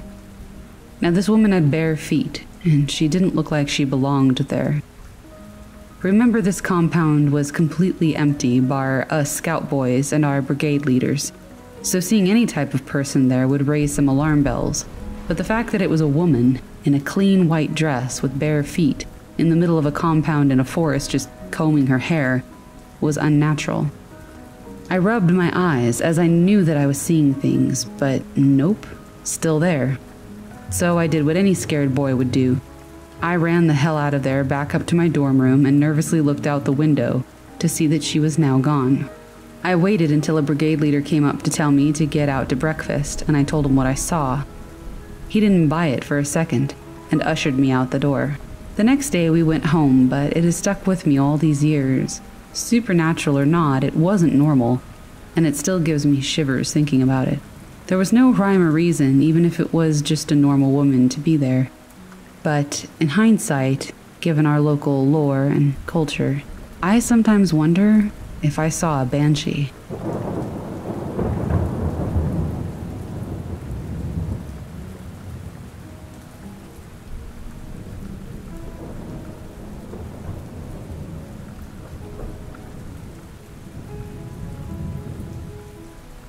I grew up in Ireland, and back in the 90s, my family had a small holiday home in Ballyhornan that we shared with a bunch of relatives.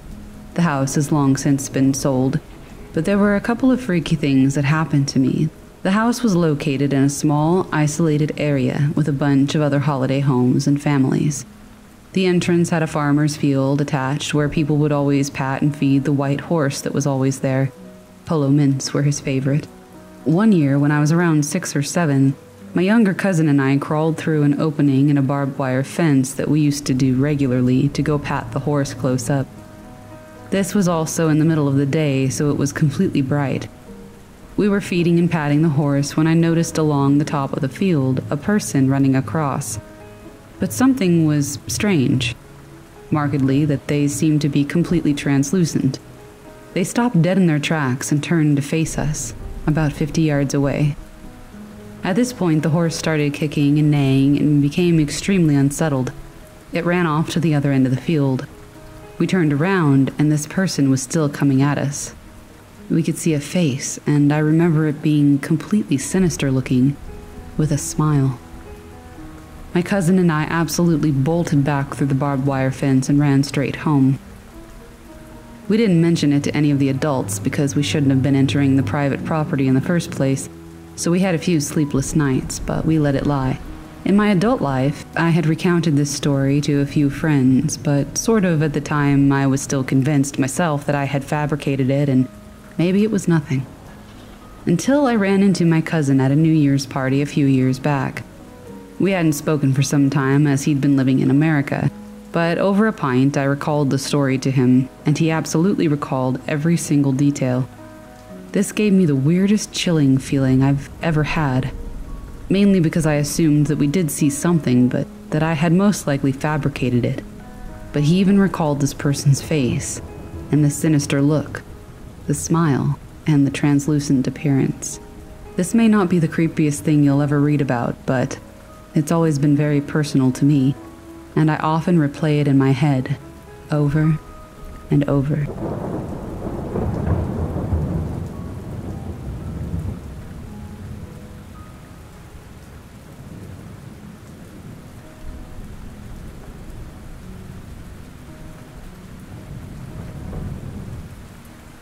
I grew up in the countryside, literally in the middle of nowhere in Ireland. The house was originally a small cottage. My parents bought it before I was born, and they renovated it and added an extension. There were five other houses on our country road, the closest being a large field away. I don't know much about the history of our house, the land that it was built on, or the history of the area other than an elderly lady lived in the cottage before my parents bought it, and she passed away in a nursing home. The only info that I have about the area is that it was old and it was a civil parish. Civil parishes are units of territory in the island of Ireland that have their origins in the Old Gaelic territorial divisions. Some other things worth noting before I get into the experiences. Behind our house, across a newly built road, was an old graveyard and the ruins of an old church enclosed in a stone wall. When I say old, I mean the gravestones were tipping over, sinking into the ground, and you couldn't read the writing on them anymore. You could see the graveyard from my window and my brother's window.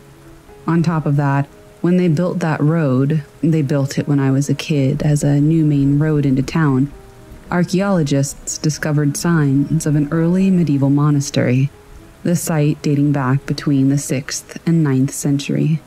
They also found some old signs of medieval settlements, some artifacts like tools and things like that relating to the time period, as well as undated burial activity, that's how they put it. Some scattered human bones and the remains of bones of a boy that they think was probably around seven years old were also found.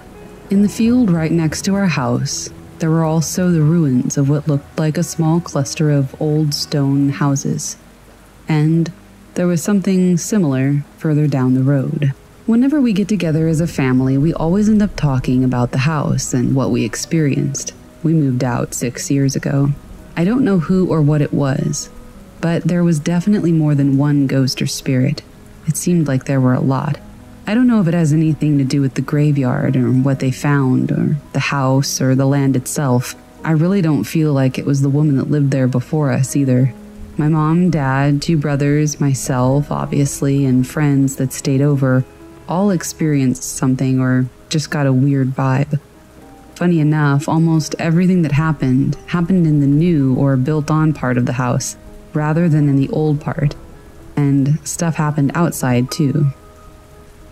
I would often feel like there was someone in my room, and I don't know why, but I felt like it was a man. I would never chill in my room alone, and I would dread nighttime coming to go to sleep. I just felt like somebody was there. I heard what sounded like someone walking around. Not footsteps, but just like the movement of someone. I often felt like I was being watched, inside and outside. Fair enough that it could have just been my imagination or me freaking myself out as a kid, but on multiple occasions I heard what sounded like children talking and playing, but then nobody would be there.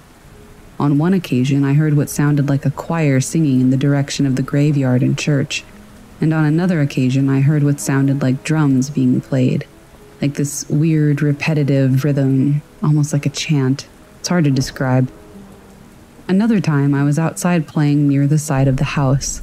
I was kneeling down and it was as if somebody had thrown a small stone or pebble, not at me, but in my direction from behind.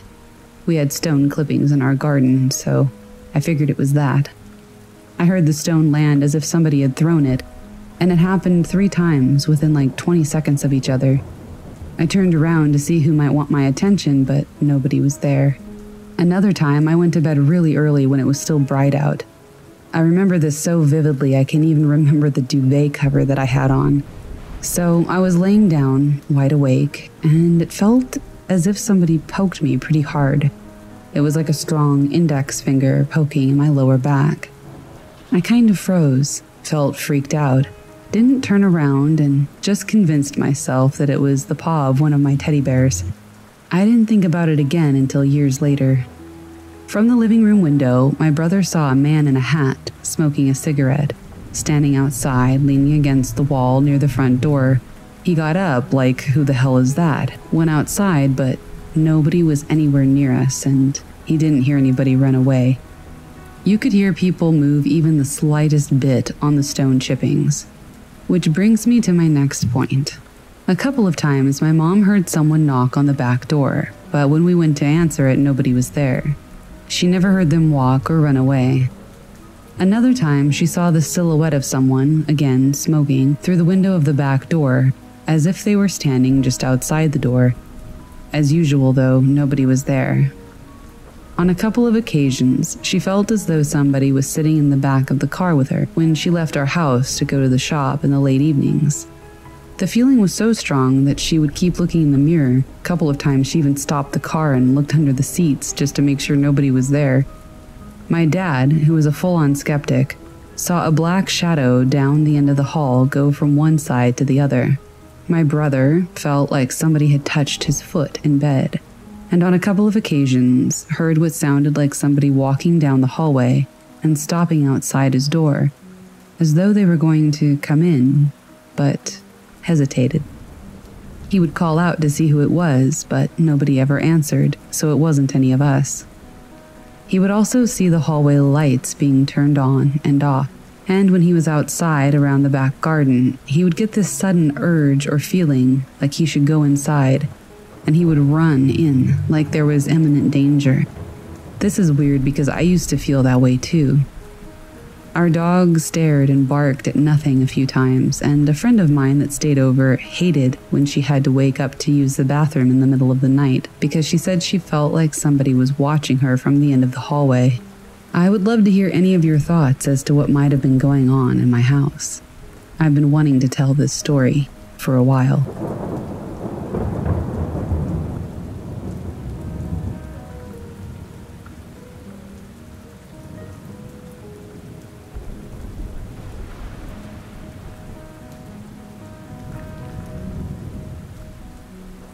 Always been open minded about the supernatural, and I enjoy a good ghost story as much as the next person. The following is an account of something that I experienced a little over 20 years ago in County Dublin in the Republic of Ireland. I've had very little experience with what could be called supernatural phenomena, but this one has stayed with me and left me wondering about what I experienced. The girl that I was seeing at the time gave me a call to let me know that her parents would be out of town for the weekend, and that I was more than welcome to spend the weekend alone with her in her parents' house. Now, being a teenage boy, I naturally didn't need to be asked twice, and before I knew it, we were cuddling away in her bedroom. It wasn't long, however, until our passion was interrupted by the distinct sound of footsteps coming up the stairs. On hearing the footsteps, I immediately leapt up and said something along the lines of, What the fuck? I thought your parents were gone for the weekend. She assured me that they were indeed gone for the weekend, and seemed to brush off the fact that we had both clearly heard heavy footsteps coming up the stairs. Strange things continued to happen throughout the day, such as once when walking by a room to get to the bathroom, I couldn't help but notice that all the windows had been opened and that the curtains were blowing around like they were in a hurricane. The thing is, I could have sworn that those windows had been shut the first time I passed them. But who knows? Maybe I was mistaken. In fact, I wasn't really feeling spooked by any of this, and I just told myself that what I'd witnessed could have been the result of any number of things. It wasn't long until I actually was freaked out, though. At some time in the middle of the night, both myself and my girlfriend woke up and I remember asking what the hell was going on. I had a feeling that I can't quite describe, sort of a mixture of dread and despair, with a hint of curiosity, if that makes any sense. I could hear movement downstairs, and I had the distinct feeling that there was a crowd of God knows what below in the kitchen. I could also hear conversations, but I couldn't make out what was being said.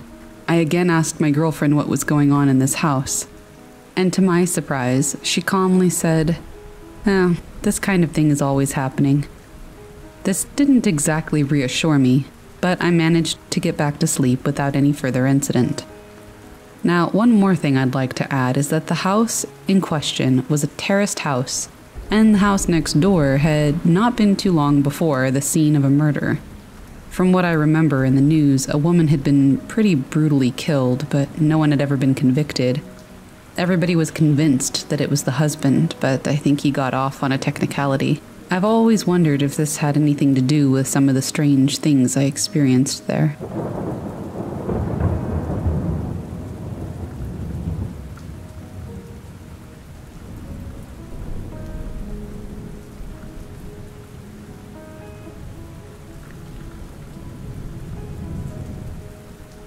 I've had over a week to think about this, and I can't come up with a satisfactory, rational explanation.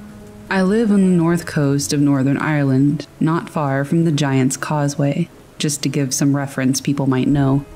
Just over a week ago, I was sitting watching television with my wife. I sit by one of the windows sometimes because there's a plug there for my laptop. My wife was sitting on the other sofa, so she couldn't see out of this particular window. It was around 8:30 and it was perfectly dark outside. If I looked out, I could see the lights of our local town, Ballymoney. It's tiny, more of a village, really. Just to set the scene, we're about three miles out, surrounded by farmland. Anyway, I'm watching TV and occasionally glancing out the window when all of a sudden I see this bright light just over the fields. It was multicolored and it kind of blooms and grows larger. At first, I thought it was a firework, which would have been bizarre enough late in March in the middle of the pandemic lockdown. Except that it's too slow, if that makes sense. It brightened into maybe three different colors. It was hard to judge distances in the dark, but if I had to guess, I would say it was two acres or more away, and larger than a family car, hanging maybe 80 to 100 feet up, pretty low. Eventually, it faded and disappeared, again, not behaving anything like a firework, and far too large to be a flare. I said at the time that I thought I had seen somebody letting off fireworks. A few minutes later, I glanced out again, and there's a smaller light roving around in the same spot. But it vanished almost the moment that I looked at it. This light was maybe a third the size of the original and was moving left to right. I've thought about it ever since. The annual Ballymoney Town firework display is much farther away, and we can always hear it from home. Yet this was soundless. Helicopters and drones don't have lights like that. And again, if there had been a chopper out there so low and so close, we would have heard it. A drone still strikes me as the most likely. We wouldn't have heard it inside the house, and I guess it might have been rigged with really powerful lights but they would have had to have been incredibly powerful, so I don't know, and the size still throws me off. I've never ever seen or heard a drone over that area in the daytime, and I'm out there all the time. Honestly, I think I might have seen a UFO. No lights in the sky were reported in local news or on social media, though, and I haven't seen anything since.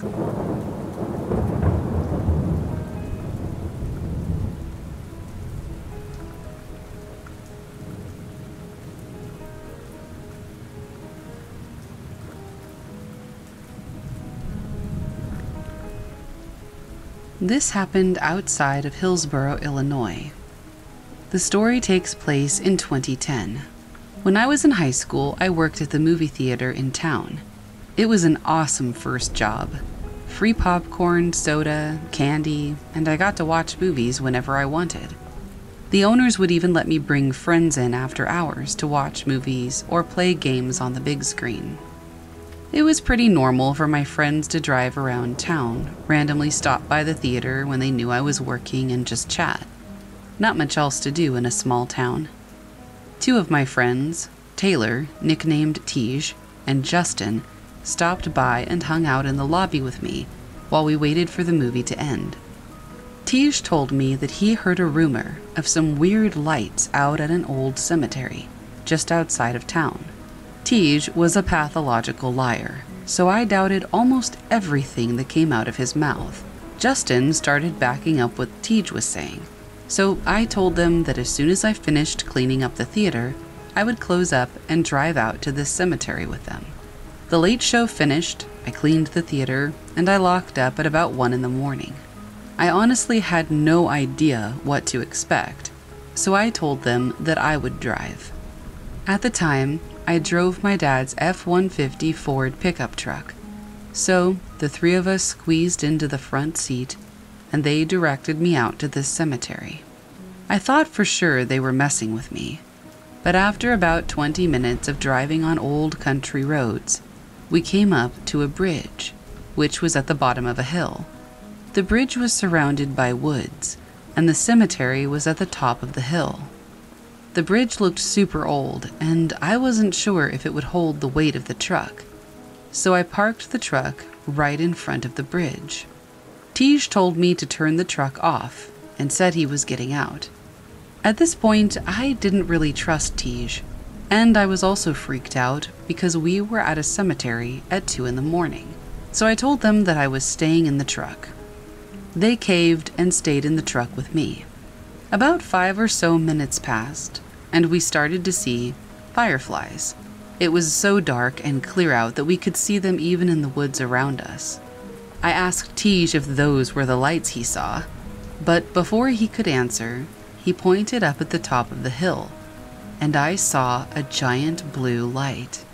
Once I looked at this blue light at the top of the hill, several others popped up in the woods around us, and then more up in the actual cemetery.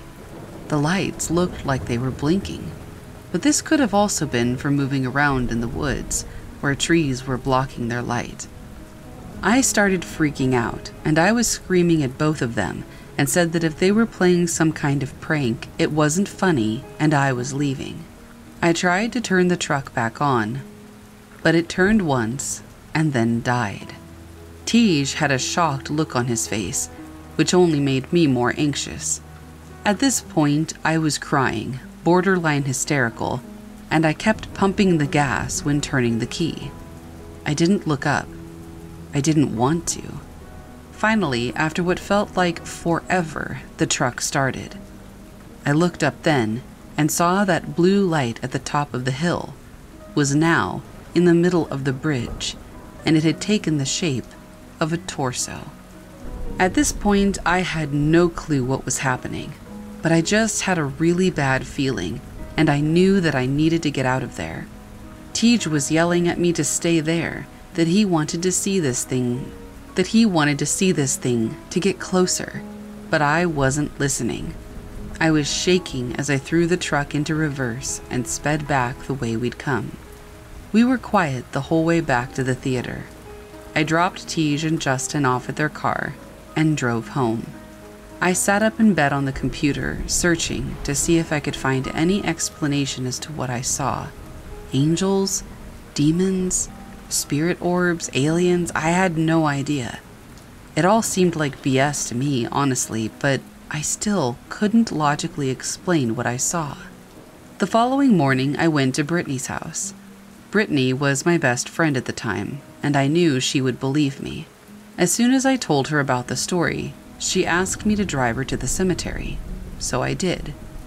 We parked in front of the bridge and walked up the hill, and then around the cemetery. We looked for LED lights on the tombstones, flashlights, even footprints around the muddy woods, but we didn't see anything that could explain what I had seen the night before. The cemetery was also too far away from any major road for it to have been car headlights. I still don't know what we saw that night, but I get goosebumps every single time I think about it. If anything, it's helped me to keep an open mind about the weird stuff that happens in the world. And maybe that lesson was worth it.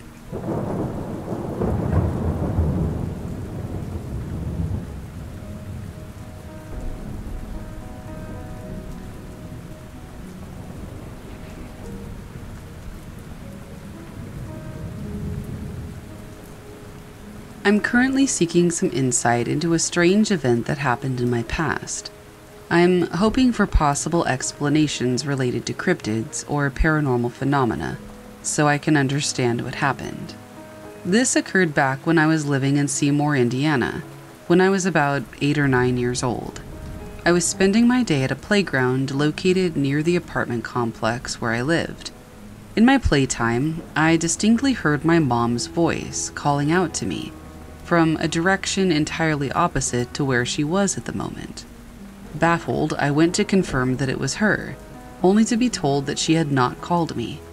I went back to playing and I didn't hear the voice again. What puzzles me are actually a few aspects of this experience. First, my mom was situated a substantial distance away from me, probably about four or five minutes away. Yet the voice that mimicked hers seemed to come from an identical distance but in the complete opposite direction. Secondly, I have no prior history of hallucinations in my life. I initially shared this story before, but I got more questions than answers. Hopefully, somebody knows what this might be. Skinwalker doesn't seem to fit the description, at least based on what I understand, but some kind of mimicry was at play.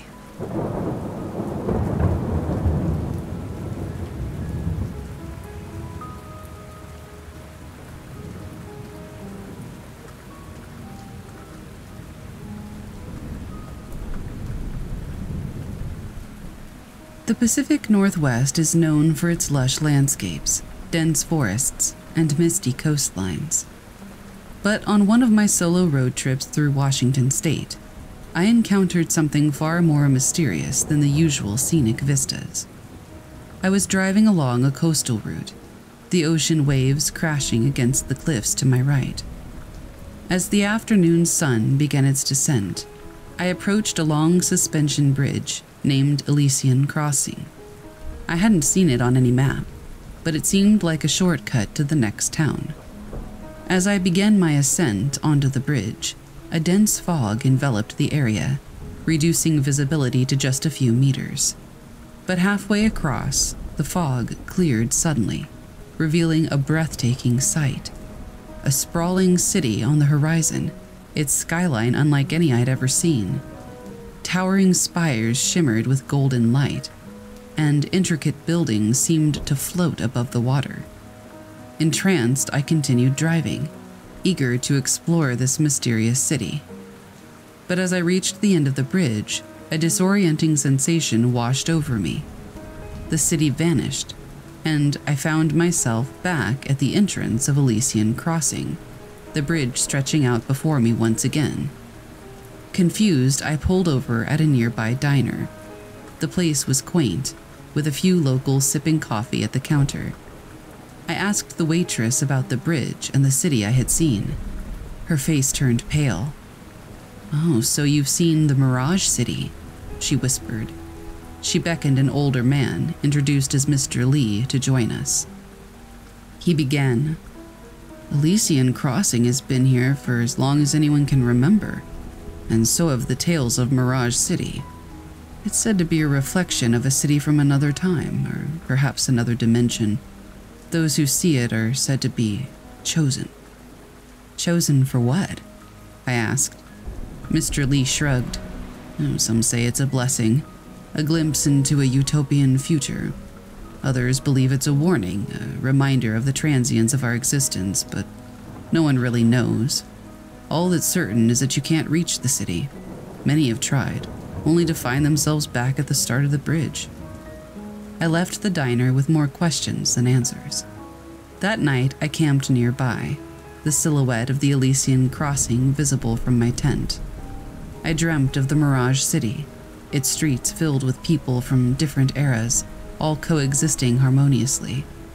The next morning, I attempted to cross the bridge again, but the city didn't appear. It seemed my glimpse of the Mirage City was a once in a lifetime experience. I continued my journey through the Pacific Northwest, but the memory of the bridge and the city stayed with me. Whether it was a vision of a possible future or a mere trick of the light, the Elysian Crossing and its Mirage City served as a reminder of the mysteries that exist just beyond the veil of our understanding.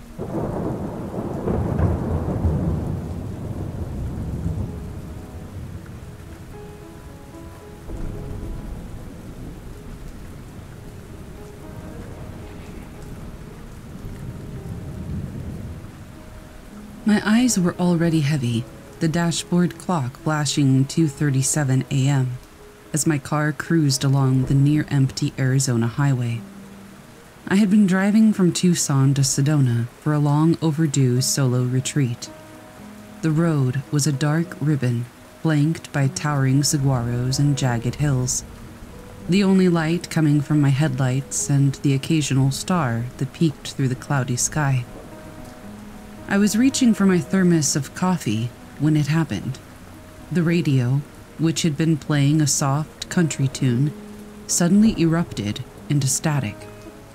Annoyed, I fumbled with the dials, trying to find another station, but to no avail.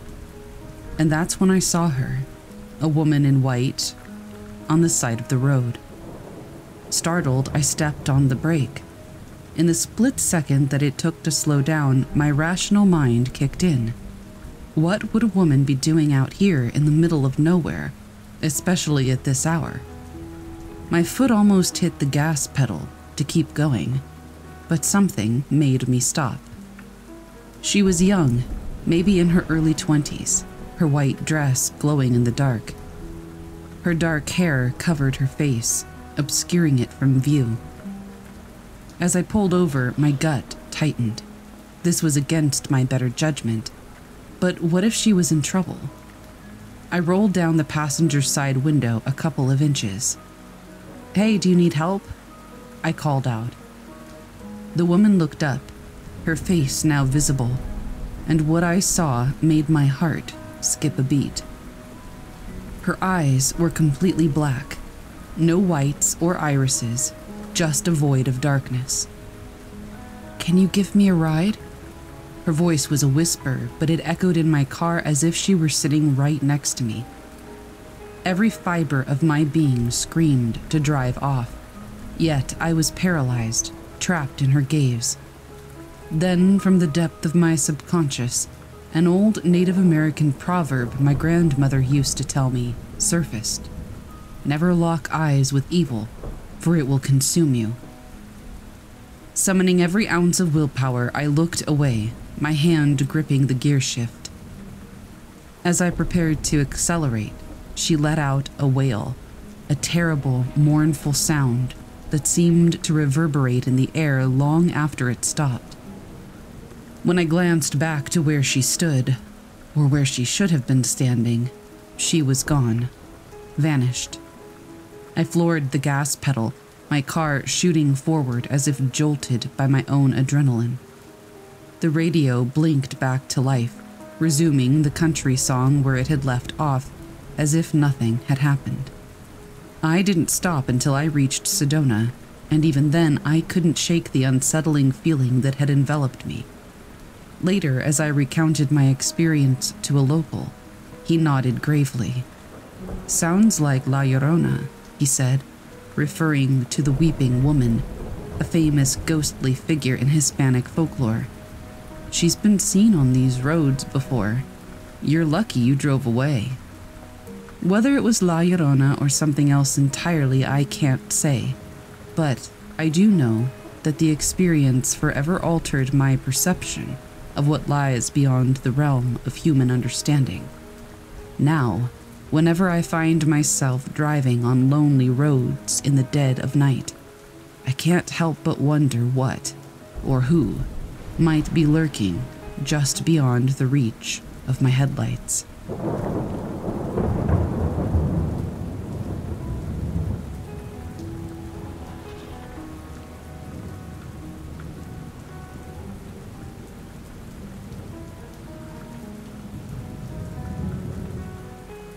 The leaves had just started to turn colors, and I found myself driving on a stretch of road in West Milford, New Jersey, known as Clinton Road. My buddy, who was a folklore enthusiast, had filled me in on the tales of the area. A notorious 10 mile stretch, it had more legends associated with it than any other road in the US. Stories ranged from ghostly apparitions, strange creatures, to even eerie gatherings of unknown societies. It was near twilight, that perfect hue of orange and purple in the sky, when I started my drive. I remember feeling slightly uneasy as the dense woods on either side of the road appeared to close in on me. As I drove further, the tranquility of the fall season began to be overshadowed by an inexplicable weightiness in the air. In the descending darkness, my headlights caught a glimpse of something by the side of the road a decrepit looking truck from what seemed like the 60s, parked haphazardly by the side of the road. Being the Good Samaritan, I thought I'd stop and check if someone needed any help. I pulled over a few yards ahead and rolled down my window. There was stillness in the air, except for the faint whispering of the wind through the trees. I called out, Hey, anyone there? Need help? To my surprise, a coin suddenly dropped onto the asphalt beside my car. I picked it up and inspected it. It was old and worn out, dated back to 1965. I recalled one of the legends associated with the road the ghost of a boy who had died under mysterious circumstances, and if you dropped a coin on a certain bridge, he'd throw it back. Was this the bridge? A shiver ran down my spine. Just then, the old truck's headlights blinked to life. Its engine roared and it started moving, backward. The vehicle didn't turn around. Instead, it backed up at an alarming speed, headlights blinding me momentarily. Fumbling for the ignition, I managed to get my car started and I sped away. The old truck seemed to follow for a bit, but its presence faded the farther I got from that spot. Relief washed over me as I saw the sign indicating the end of Clinton Road. But the coin? It sat on my dashboard, a grim reminder that not all legends are mere tales. It took me weeks to muster up the courage to drive by that road again. By daylight, of course. Whenever someone asks me if I believe in ghosts or paranormal activities, I simply show them the coin, a testament to that eerie autumn night on Clinton Road.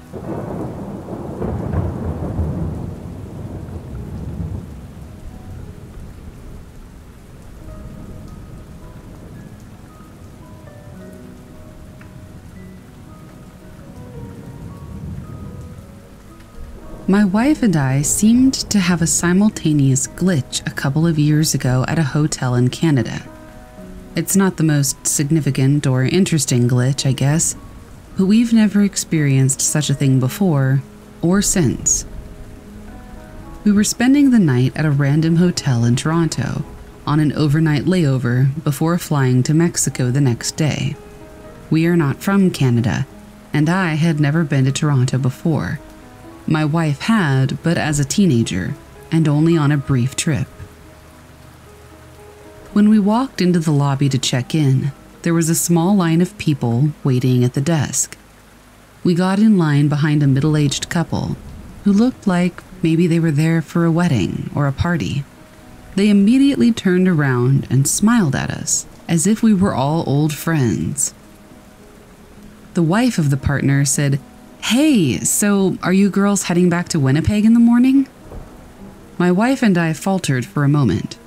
She was obviously talking to us and not anybody else, but we had no idea why. We had never met this couple before, let alone engaged in any kind of conversation with them. We had just gotten to the hotel. Plus, neither of us have ever been to Winnipeg. Uh, no, I replied uncomfortably. The woman looked confused and just said, Oh. She was called up by one of the attendants, and we got the other, so there was no way to talk any further. My wife and I just kind of looked at each other and laughed, like, how weird. We got our room keys and went over to the elevator. It was a large chain hotel, and our room was on one of the higher up floors. The elevator stopped before our floor, and when the doors slid open, there were about four to five guys there, late 30s, maybe early 40s, holding beers. They saw us and acted pleasantly surprised. They all did the hey kind of surprised cheer, as if they hadn't expected to run into us. My wife and I just figured they were having some fun. But then they started talking to us as if they knew us too. Ah, we're having a party in Dan's room, one of the guys said. Again, my wife and I were unsure if they were actually speaking to us. But there was no one else in the elevator that they would be talking to, so they were. I said, Oh, okay. Another guy said, You girls headed up to bed? My wife and I gave each other the side eye. Uh, yep, she said. Yeah, I'm pretty tired too. It's been a long day. The door slid open at what I was guessing was Dan's floor. Well, we'll all be down here in Dan's room if you change your minds. The guys got off the elevator, and when the doors closed, my wife and I started cracking up. What in the world was going on? Why did all these people seem to think they knew us? We made it to our room and got ready for bed. It was chilly, so I slept in my socks, which I almost never do. I fell asleep right away and I slept like a rock as we had already had a long first day of travel to make it to Toronto. When we woke up the next morning, I got out of bed and immediately noticed another weird thing. I was still wearing socks, but they weren't the socks I had worn to bed the night before. In fact, they weren't my socks at all. I was immediately grossed out, but my wife and I had a good laugh about it. I mean, how in the world did that happen? I've never been a sleepwalker, not once in my life. So weird. Since we had a flight to catch, we grabbed our stuff and made our way down to the lobby to check out. It was busy, and there was another line at the desk. We stood behind this woman who had two suitcases. She was standing with her body half turned toward us, so she saw us coming. She looked up from her phone when we got in line, and then went back to minding her own business, as we were. Then, after a minute, she looked up directly at us and said, Did Bob go to get the car or something? What in the world? Again, we had never laid eyes on this woman before this moment. We had no idea who she was, and we certainly didn't know Bob. I have no idea, I said finally. Like the others, she seemed confused by my confusion. It's been a couple of years since this incident at the hotel, but my wife and I still laugh about it from time to time. That hotel was just full of people who were so sure that they knew us, but that's impossible. Our theory is that maybe there was an event at the hotel with guests who looked like us but I mean, what are the odds of that? And that still wouldn't explain what happened to my socks. To this day, it's still the strangest thing that has ever happened to us.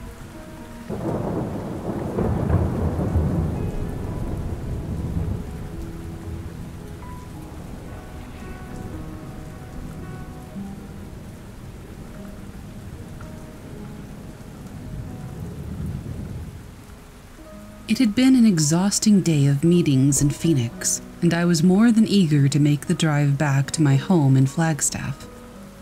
The thought of my own bed was the only thing keeping me going as I sped down the empty highway.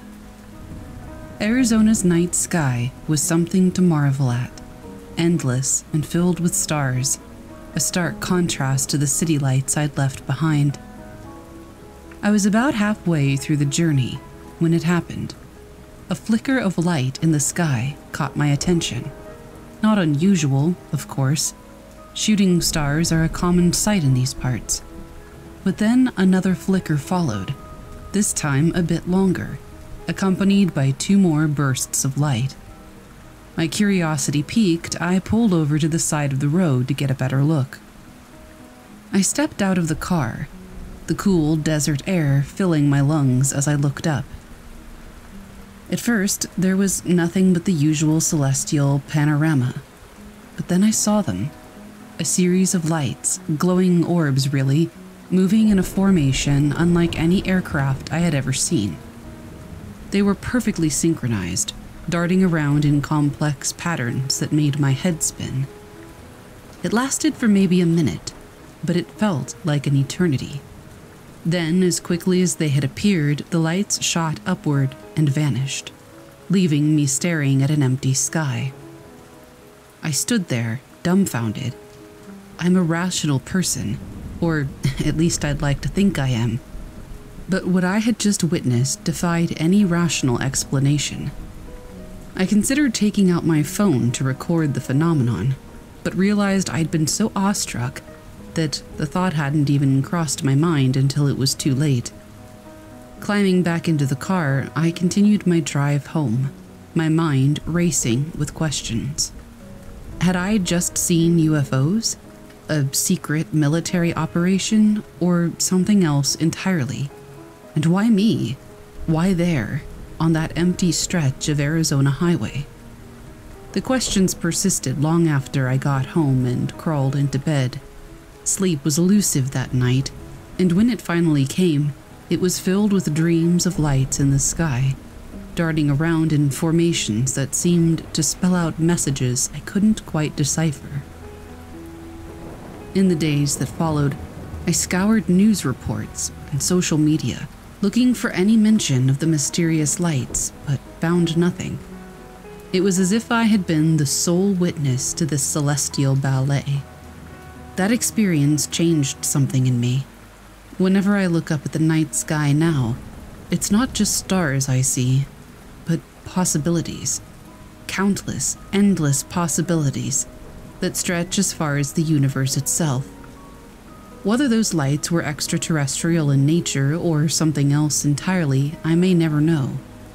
But they serve as a constant reminder that the world is filled with mysteries, and sometimes those mysteries choose to reveal themselves when you least expect it, under a sprawling canopy of an Arizona sky.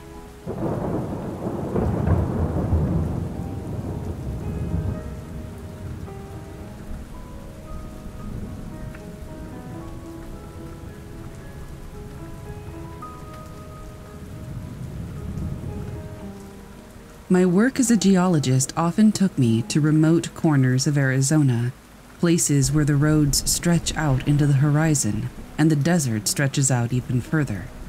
A landscape that could be hypnotic in its repetitive beauty. But that day in September, the land felt different somehow, its eerie emptiness weighing heavily on me. I was returning from a soil testing job driving my well worn pickup down a highway I'd traversed at least a dozen times before. Dusk was falling, casting long shadows on the ground and turning the sky into a canvas of reds and purples. I was listening to a podcast about ancient civilizations, their folklore and myths, which usually fascinated me.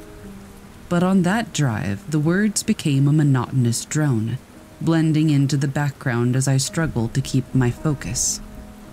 Just when my eyes were becoming a little too heavy for comfort, I saw it a solitary tree standing near the highway. This wouldn't be remarkable in any other circumstance, but this tree was ablaze.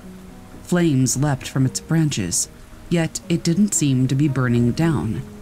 It stood there, a spectacle of fire against the backdrop of the setting sun. I pulled over, grabbed my fire extinguisher, and ran toward it. But as I got closer, I realized something astonishing. There was no heat emanating from the flames. Cautiously, I extended a hand toward the fire and felt nothing but the cool desert air.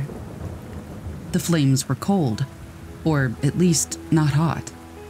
My rational mind grappled with this impossibility. It was then that I heard the whisper, a hushed voice so soft it was almost drowned out by the crackling flames. Help me, it said. I looked around, thinking someone must be playing a trick on me, but there was no one. I was alone with this inexplicable burning tree. Who are you? I stammered, feeling ridiculous for talking to a tree, but unable to help myself. I am bound, the voice whispered, more audibly this time. Release me. Without thinking, I pulled out the small hatchet I kept in my toolkit for sample collection. As the blade cut through the bark, the flames flickered, as if reacting to my touch. Finally, with one last swing, I severed a branch. The moment it fell, the flames vanished, leaving the tree as it was just a tree. I felt a sudden rush of wind, and a feeling of liberation washed over me. The tree looked normal, mundane even, but I couldn't shake the sensation that something extraordinary had just occurred. I took the severed branch with me, storing it carefully in the back of my pickup.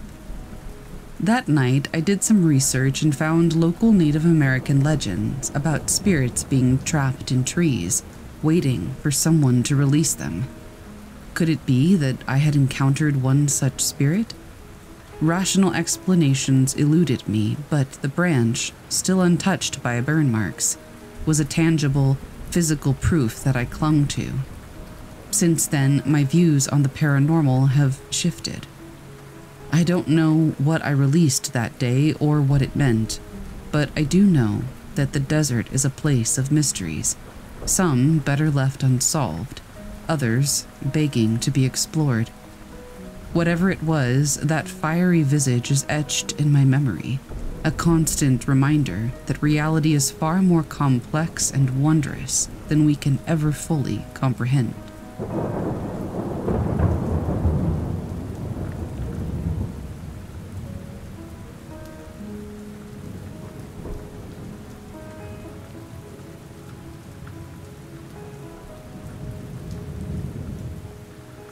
The highway stretched out in front of me, a ribbon of asphalt cutting through the Arizona desert.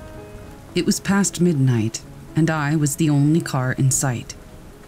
The sky was so clear that the stars looked like pinpricks on a dark curtain, and I felt as though I was driving through space, alone in the universe. It was a peaceful sort of isolation. But then my car started to sputter. Glancing down at the dashboard, I saw the needle on the fuel gauge sink dangerously close to E. I cursed myself for not checking earlier just as I began to pull over, my headlights flickered and died. In an instant, I was plunged into darkness, save for the dim illumination provided by the moon and stars. Nervous but determined, I managed to pull my car off to the side of the road. I took out my phone to call for help, but no bars. I was in a dead zone. Great, I muttered contemplating limited options.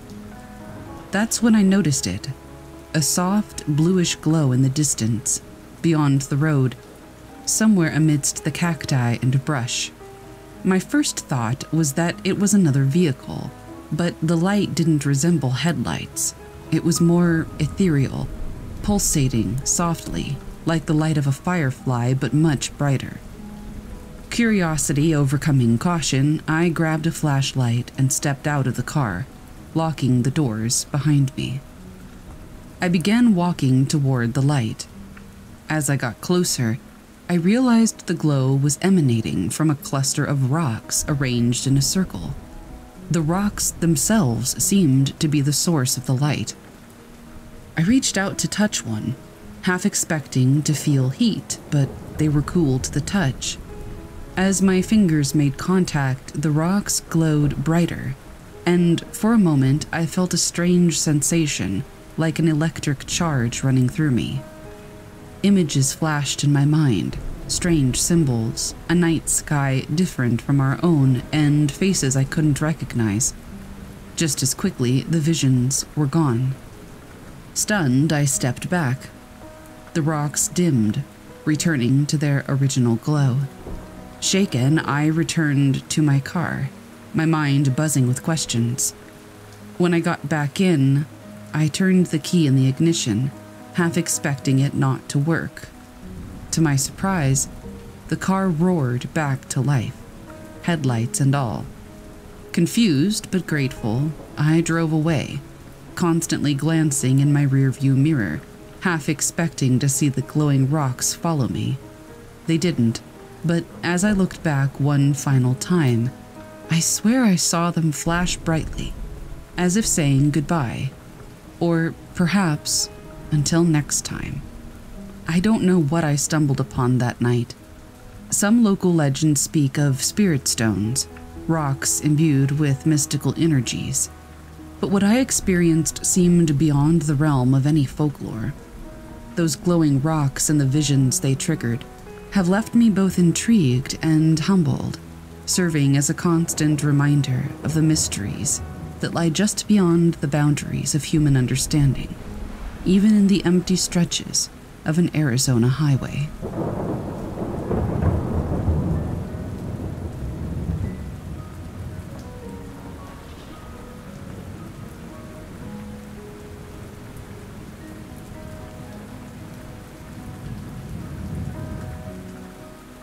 The Siren at Giant's Causeway. My encounter at Giant's Causeway in Northern Ireland was as bewildering as it was chilling, a stark contrast to the natural beauty of the place. Known for its unique basalt columns, Giant's Causeway is a popular tourist attraction, steeped in myth and legend. But what I experienced there was far from the tales of giants I had heard. It was a cool, foggy morning when I set out to explore the causeway. The fog was thick, enveloping the landscape in a mysterious veil, making the hexagonal columns appear otherworldly. I was captivated by the surreal beauty and the rhythmic sound of the waves crashing against the rocks. As I walked further along the coast, away from the main tourist paths, the fog seemed to grow denser the sounds of the ocean became more pronounced, and I could hear what seemed like a melody intertwined with the waves. It was a hauntingly beautiful song, unlike anything I had ever heard. Drawn by the melody, I found myself moving toward the water's edge. The song grew louder, more enchanting. And that's when I saw her. Through the mist, there was a figure sitting on one of the rocks just off the shore. She was ethereal, her hair long and dark, her skin pale against the dark sea. She seemed to be the source of the captivating song. I stood there, mesmerized by her presence and her voice. It felt as though the song was wrapping around me, pulling me closer to the water. I took a step forward my mind foggy as if in a trance. Suddenly, a loud wave crashed onto the shore, snapping me out of my daze. I looked again, but the figure was gone. The song had ceased, leaving only the natural sounds of the ocean. I felt a chill run down my spine as I realized how close I had been to the water's edge. I hurried back to the main path, glancing over my shoulder half expecting to see the figure again. But there was only the sea and the fog. Back at my accommodation, I shared my experience with the host. She told me about old sailors' tales of sirens in the waters around Ireland, mythical creatures who lured sailors to their doom with their enchanting music. I don't know if what I saw was a siren or just a figment of my imagination, influenced by the eerie atmosphere of the causeway but that melody and the sight of the mysterious figure have stayed with me. I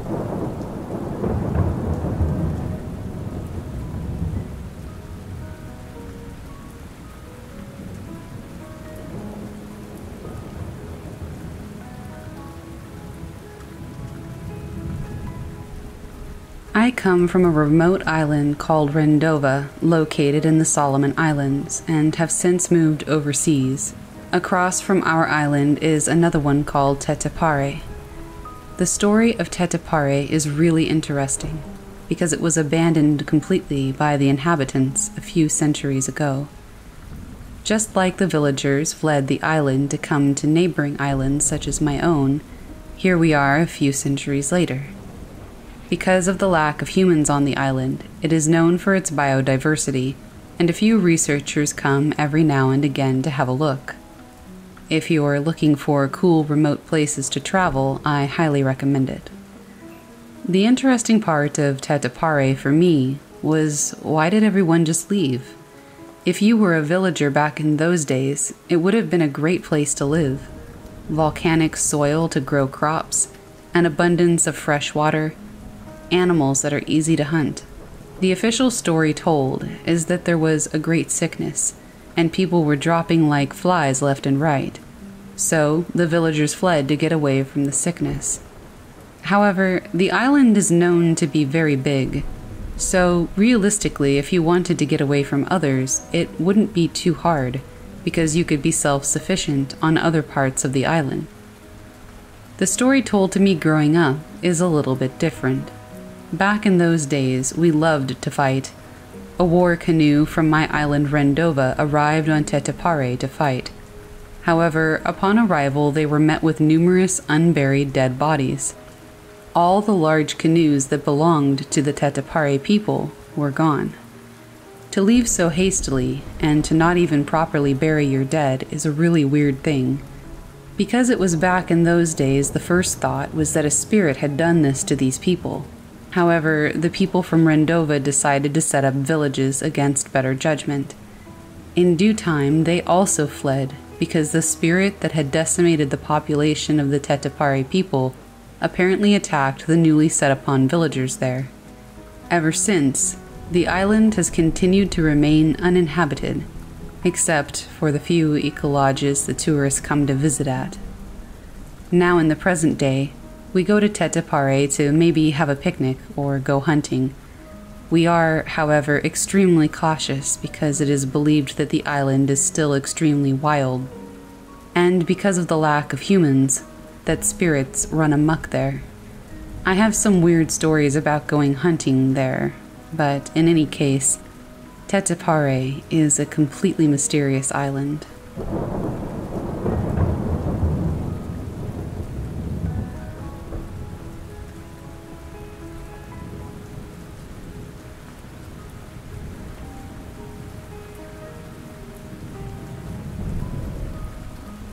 I worked at a state park for a number of years on a 30 acre island that was mostly taken up by a 20 acre granite star shaped fort from the 1820s.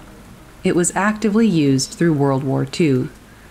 During the Civil War, it was used as a prison for Confederate maritime officers and political prisoners. Sounds creepy, right? It was. Only a few staff would stay overnight, and some nights I was there alone. The staff stayed in the upstairs of a brick building that was built about 1900. The upstairs had been converted into staff housing sometime in the 1960s, with five or six bedrooms, a kitchen, a small living room, and a big storage area. Two of the bedrooms were original to the place. The back stairs that led to the living quarters were wooden and old and loud when you walked up them. It was a big building, but when someone was walking up the stairs, you could basically hear it through the entire place. Back in 2006, another coworker and I were hanging out in the workshop downstairs at night, having a couple of drinks and listening to the stereo until bedtime. We were the only two people on the island. I woke up at about 2 a.m. and I could hear my partner walking down the stairs. I didn't think much of it because sometimes we would forget to lock the main door before bed, and one of us would get up in the night to do it. In the morning, when we were making coffee, I said, Hey, did we forget to lock the door? I heard you going downstairs in the night. He looked at me and said, I thought that was you. That was our introduction to the stair ghost. It actually became so common that it wasn't even spooky anymore. It was just kind of like, oh, there's the stair ghost again. Also, when I brought it up to a woman who had worked there for many years, she was like, oh yeah, the stair ghost. Like it was nothing. A few years later, I was alone on the island in the off season when the park was closed, but it was during the day. I had just woken up and was in the kitchen when I heard someone coming up the stairs.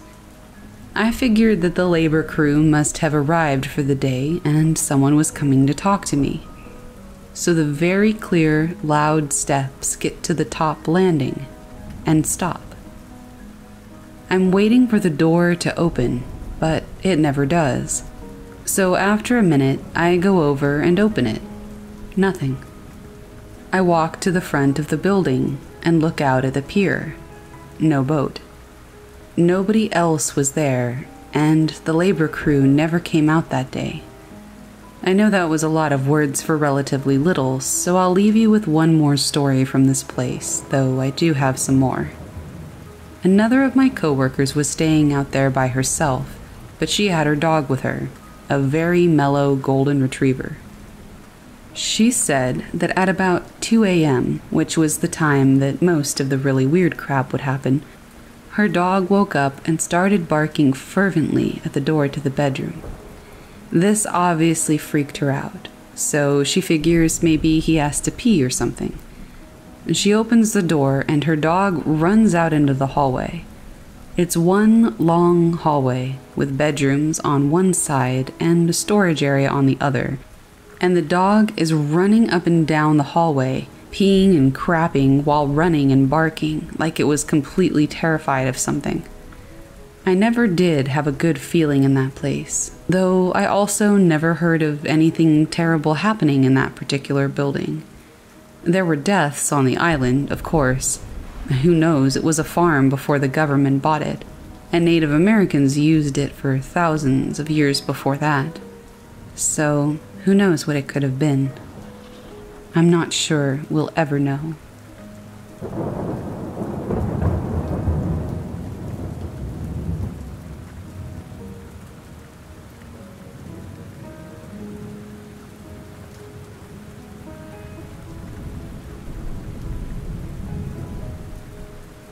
My girlfriend and I went camping this summer on Meares Island. We didn't know too much about the island, aside from the fact that it has some of the best old growth forests in British Columbia, and that there's the campground and hostel and a small village there. When we got there, we went exploring and felt fine checking out the abandoned cars and rotting docks, as well as going inland along the waterways we decided to go check out the lake around dusk since we were told that there was a boardwalk and a boat available for use. As we walked there in high spirits, we listened to the birds. It was a quick walk, only 15 to 20 minutes from the campsite. Once we hit the lake, the atmosphere changed, however. All animal noises ceased. It was complete silence. It was very eerie. At the time, nobody vocalized anything, but my girlfriend and I later discussed the experience and both agreed that we felt uneasy and in danger. We were with a third who I didn't ask the feelings of. I didn't feel comfortable going out on the boat, so I stayed on the dock. My girlfriend and the third person with us went out for a few minutes, but felt too creeped out and paddled back quickly. Nighttime had fallen, and we decided that it was time to head back to camp, since I know silence generally equals predators. We quickly walked back, and once we passed the threshold of where we had originally stopped hearing all the noises, animals and birds could be heard in the distance. It was a quiet walk back as we were intent to listen for anything behind us. I know it doesn't sound very scary or eventful. I figured it was probably a black bear or a cougar, but I've encountered those before, and I've never felt threatened by one, particularly not in advance. Cougars could definitely be the reason, though they said that the big cats stay farther away than that.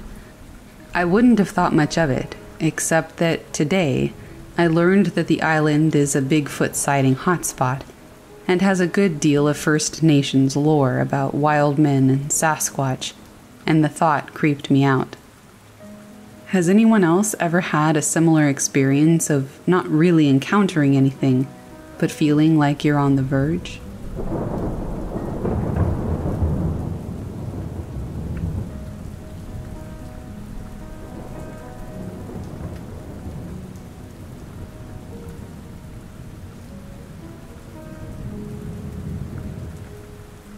I am located in the twin islands of Trinidad and Tobago. There is generally a culture of supernatural entities and folklore that is present in everyone that lives in the country. I've always encountered ghosts periodically in my life, but two days ago I saw something that really disturbed me. I was by myself in my kitchen window at around 2:30 a.m. I live in a 3-story apartment building and I live on the 3rd floor.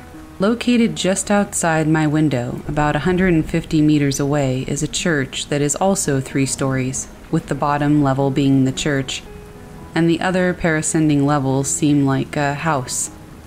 I was looking out of my window onto the windows of the church when I saw the silhouette of what seemed to be a man on the top level of the church. I began to peer at this thing, and upon staring at it, it moved from facing west and slowly turned south, staring directly at me. Then, suddenly, it backed up and seemed to materialize into the wall behind it, like it melded into it.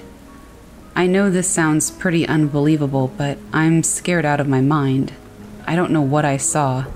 I have no thoughts on what it might be. I'm also getting nightmares frequently these days. I don't know if they're connected or not.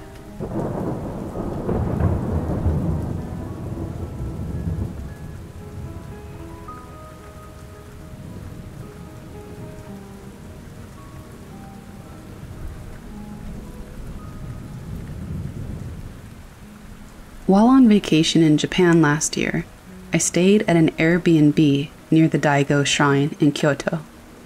On my last night in town, I came back to my Airbnb at about 11:40 p.m. on a Monday night. Mind you, I had no alcohol or drugs in my system when this happened, and I was wide awake. There's a shrine that you have to walk past on a walkway that goes to and from the Airbnb to other areas of town. It was three city blocks long by two blocks going both sides. As the layout goes, there were ditches at the foot of the walls, followed by a row of plants alternating all the way down, and then there was a walkway in the middle, with a museum on the right, a whole shrine and palace at the fork. I walk into the walkway of the shrine and I ask myself this question Why are there two kids hopping a wall? As I see these two little figures hop the wall to my right, I pause and watch what's happening. As they both get down, they run across the path and run all the way to the end of the path by the fork and wait there. I was walking single file. They stand there for a few minutes. I walk a little closer because that was the way to the Airbnb, and I make eye contact with these things. They were about three to four feet tall, very slim but proportionate, with a bigger head and pointed ears as white as snow. Their eyes were as big as our eye sockets, but black. Normally, you can tell if someone is wearing clothes at a small distance. I was maybe 15 to 20 yards from them, but they had no sign of clothing. After making eye contact, both of them go running around the corner that I had to turn. You could also see their shadows on the walls behind them. But I slowed down to give these things space I was freaking out a little bit at this point. As I turned the corner, they were gone. I'm walking back to my Airbnb and I sensed that I was being followed, but I couldn't hear or see anything. I have no idea what I saw. Aliens? Something else? I don't know.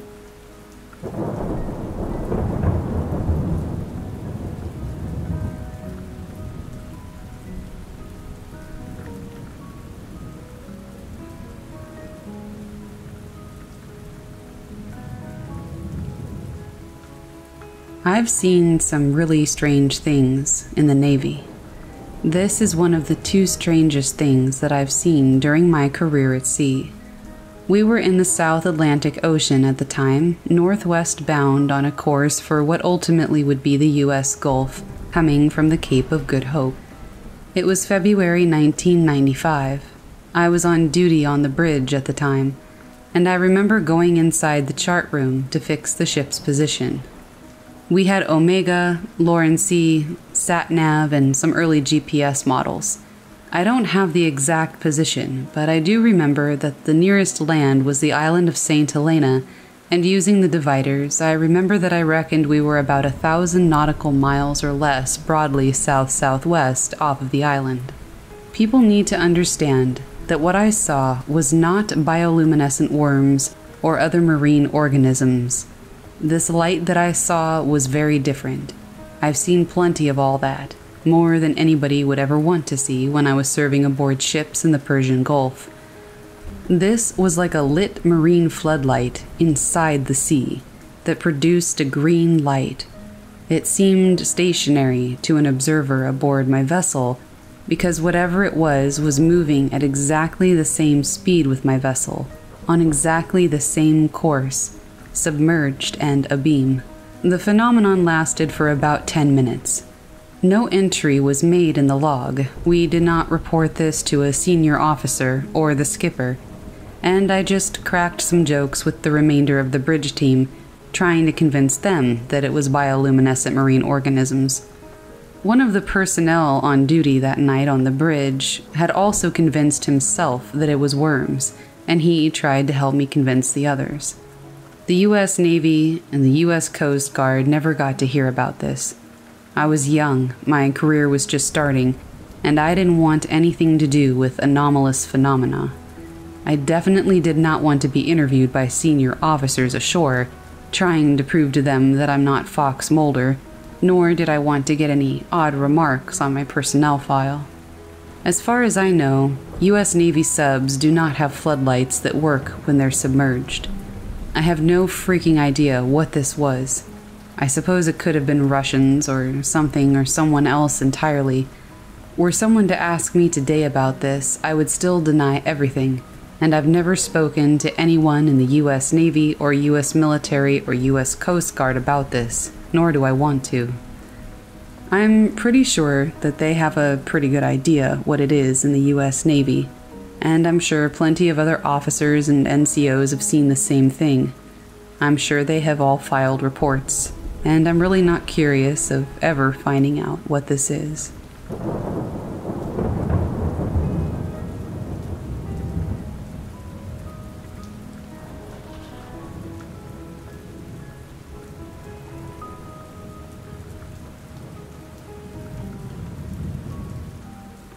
Just to give you an idea of who I am, I am a 13 year old, able minded girl I've never been suspected of any sort of mental illness, and I have no medical problems other than asthma and tinnitus. I was born in Arizona. I currently live on a very small Caribbean island that I will not be sharing the name of for privacy reasons. I am a science based individual. Last night at about 10 p.m., it got really windy all of a sudden, which was odd considering that it hadn't been stormy at all. When I looked out at the ocean, it was flat, smooth as silk. I decided to ignore what my gut was telling me, and my father and I went outside. What I saw will stick with me for the rest of my life, however much longer that will be, which, due to what I've seen, I don't think will be much longer. We saw three red lights in the sky, at the top of the mountain. Of course, because of how stubborn my father is, he told me that it was probably some kind of military craft, Dutch Marines or something. But once we went back inside and told my mother, she believed a portion to each of our stories. My father, who believed it was just the military doing some sort of training, and me, who believed it was a UFO, of the word's true nature, that is, simply an unidentified flying object. Whether it was from another country or another world, I wasn't sure. And my mother, well, she believes that it was some kind of government spy or experiment sort of thing. I found my mother's estimate more likely than my father's, until about 30 minutes ago. I saw someone, well, something. I'm not sure what it is or was. It was on top of one of the flat points on the mountain. Subsequent to us seeing the lights up on the mountain, I asked my friend if she saw the lights too. She said that she did. We're planning on hiking the trail that goes around the island to check it out. We're thinking about waiting until something more major happens until we investigate the situation, in the off chance that my father is correct. Update number 1, May 26th of 2020. Today I was hiking for one of my school clubs and I saw some blood on the trail.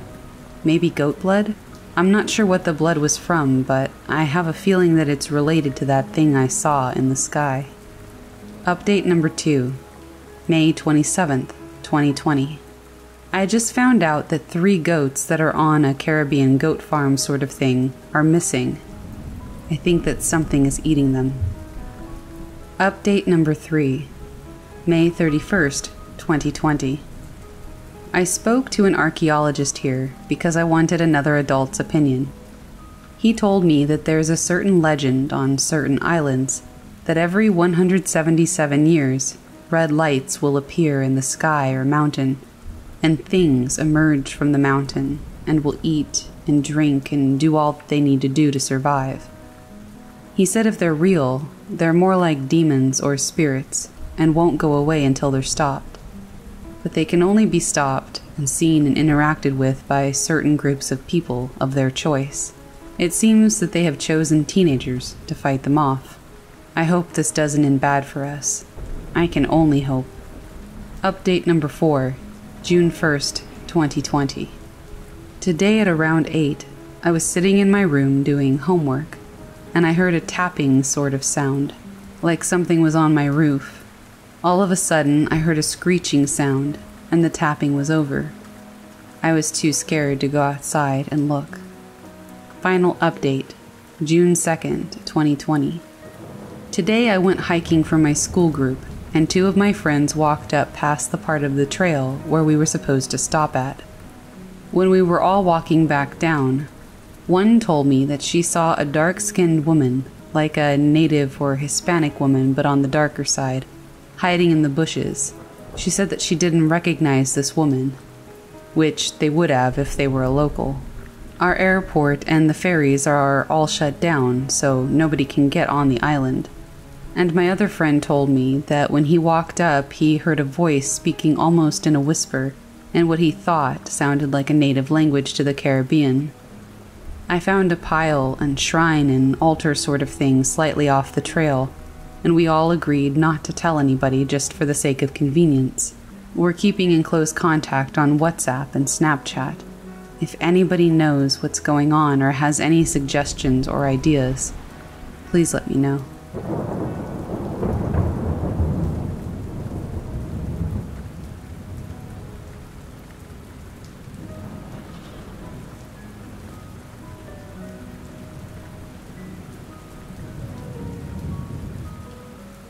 These events took place in British Columbia in the summer of 2018, June and July to be precise. The events that I'm going to describe took place in two different locations. The first occurrence was by Gold River, near the Mowachaht First Nation. The second was by Cathedral Grove. My buddy and I were spending the summer on the island. We were staying in Royston, where we both work we decided to go spend a weekend in the wilderness. We planned to go rock climbing all day by Gold River, and in the evening, find a quiet spot to stargaze. The first part of the day was uneventful, beautiful, and sunny. We decided to camp by Gold River Boat Launch. For those unfamiliar, it's at a dead end. The only way to go farther is to take a ferry. There's nothing around except trees, valleys, the sea, and an abandoned little parking lot, which nature has slowly taken over. The only civilization nearby is right across our improvised camping spot, the First Nation of Mowachaht. We went to bed at about 2 a.m. It was a perfect night. Not a sound, not a cloud, and a lot of stars. It was beautiful. Now, here comes the interesting part. Not long after we went into our sleeping bag in the tent, we heard the distinct noise of monkeys. Literally, it sounded like chimpanzees, like we were at the zoo. We both heard it, and it was loud and distinct. It gave us goosebumps. We knew it was impossible because there's no such thing around there. We tried to rationalize it. Initially, we thought it could have been birds we weren't used to, or some small animals, maybe. The sound repeated itself about three times, and then nothing. Everything returned to its quiet state. We've talked to a few locals who'd been staying on the island for a long time about the incident, and we couldn't get a straight answer. About a month later, we went to Cathedral Grove and spent an afternoon there with friends. By the end of the evening, around 7 p.m., we heard the same weird chimpanzee sounds. It seemed like the sound was following us. It went on a few times again and then went quiet. We got kind of creeped out and we left. I don't know if anybody else has ever experienced something similar, but it was certainly interesting.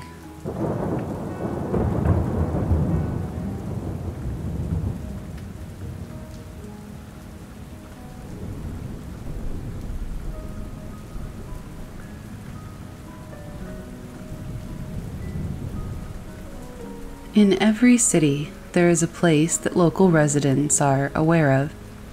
Whether it's a home, an office, an abandoned building, or a park that everyone has heard the rumors about, there is always something haunted. The story begins with a murder, a suicide, or some tragic death, and decades later, tales circulate of the paranormal activity within the area. Some believe while others scoff. But either way, everybody knows of the place. I want to share with you the haunted history of Poveglia Island. Poveglia is a small 17 acre island located in the Venetian lagoon between the cities of Venice and Lido. In the past few decades, the island has taken upon the reputation of being one of the most haunted locations on Earth. Poveglia holds many tales of paranormal activity going back for centuries. Local residents refuse to set foot on the island, believing that they would be cursed by those who haunt it. The history of Poveglia is a dark one, shrouded in death. There are beliefs that the Romans had used it to isolate victims of the plague and the mentally ill. The first recorded settlement on the island was in 460 AD of people fleeing the invading barbarians on the mainland. Over the centuries, Poveglia was the scene for many battles as people sought to raid or control it. During the Middle Ages, the island was designated as a quarantine area and a burial site for those who contracted the Black Death. Over the next few centuries, Poveglia served as a fort, storage of shipment goods, and continued as an isolation station for those infected with the plague. In the 1920s, the island was set up as a hospital for the mentally ill and the elderly. Soon, stories started to emerge of patients encountering ghosts along with accounts of being possessed. There is the legend of a doctor who conducted medical experiments on the hospital's residents that was driven insane by the spirits to committing suicide. In 1968, the facility was closed and abandoned. Today, the island has been deemed as one of the most haunted places on the planet. Historical researchers estimate that more than 100,000 people died on Poveglia in its history and many of those souls are believed to still reside there. Locals won't go there, and the fishermen steer clear of its waters. It's said that a few fishermen had caught human remains in their nets. The few paranormal investigators that braved Poveglia had reported encountering a lot of paranormal activity, with claims of being attacked by unseen forces. In 2014, the Italian government sold the island to a developer in hopes that the island could be made into a resort. Currently, rumors on the internet have said that the workers sent to survey the island had an experience and refused to return.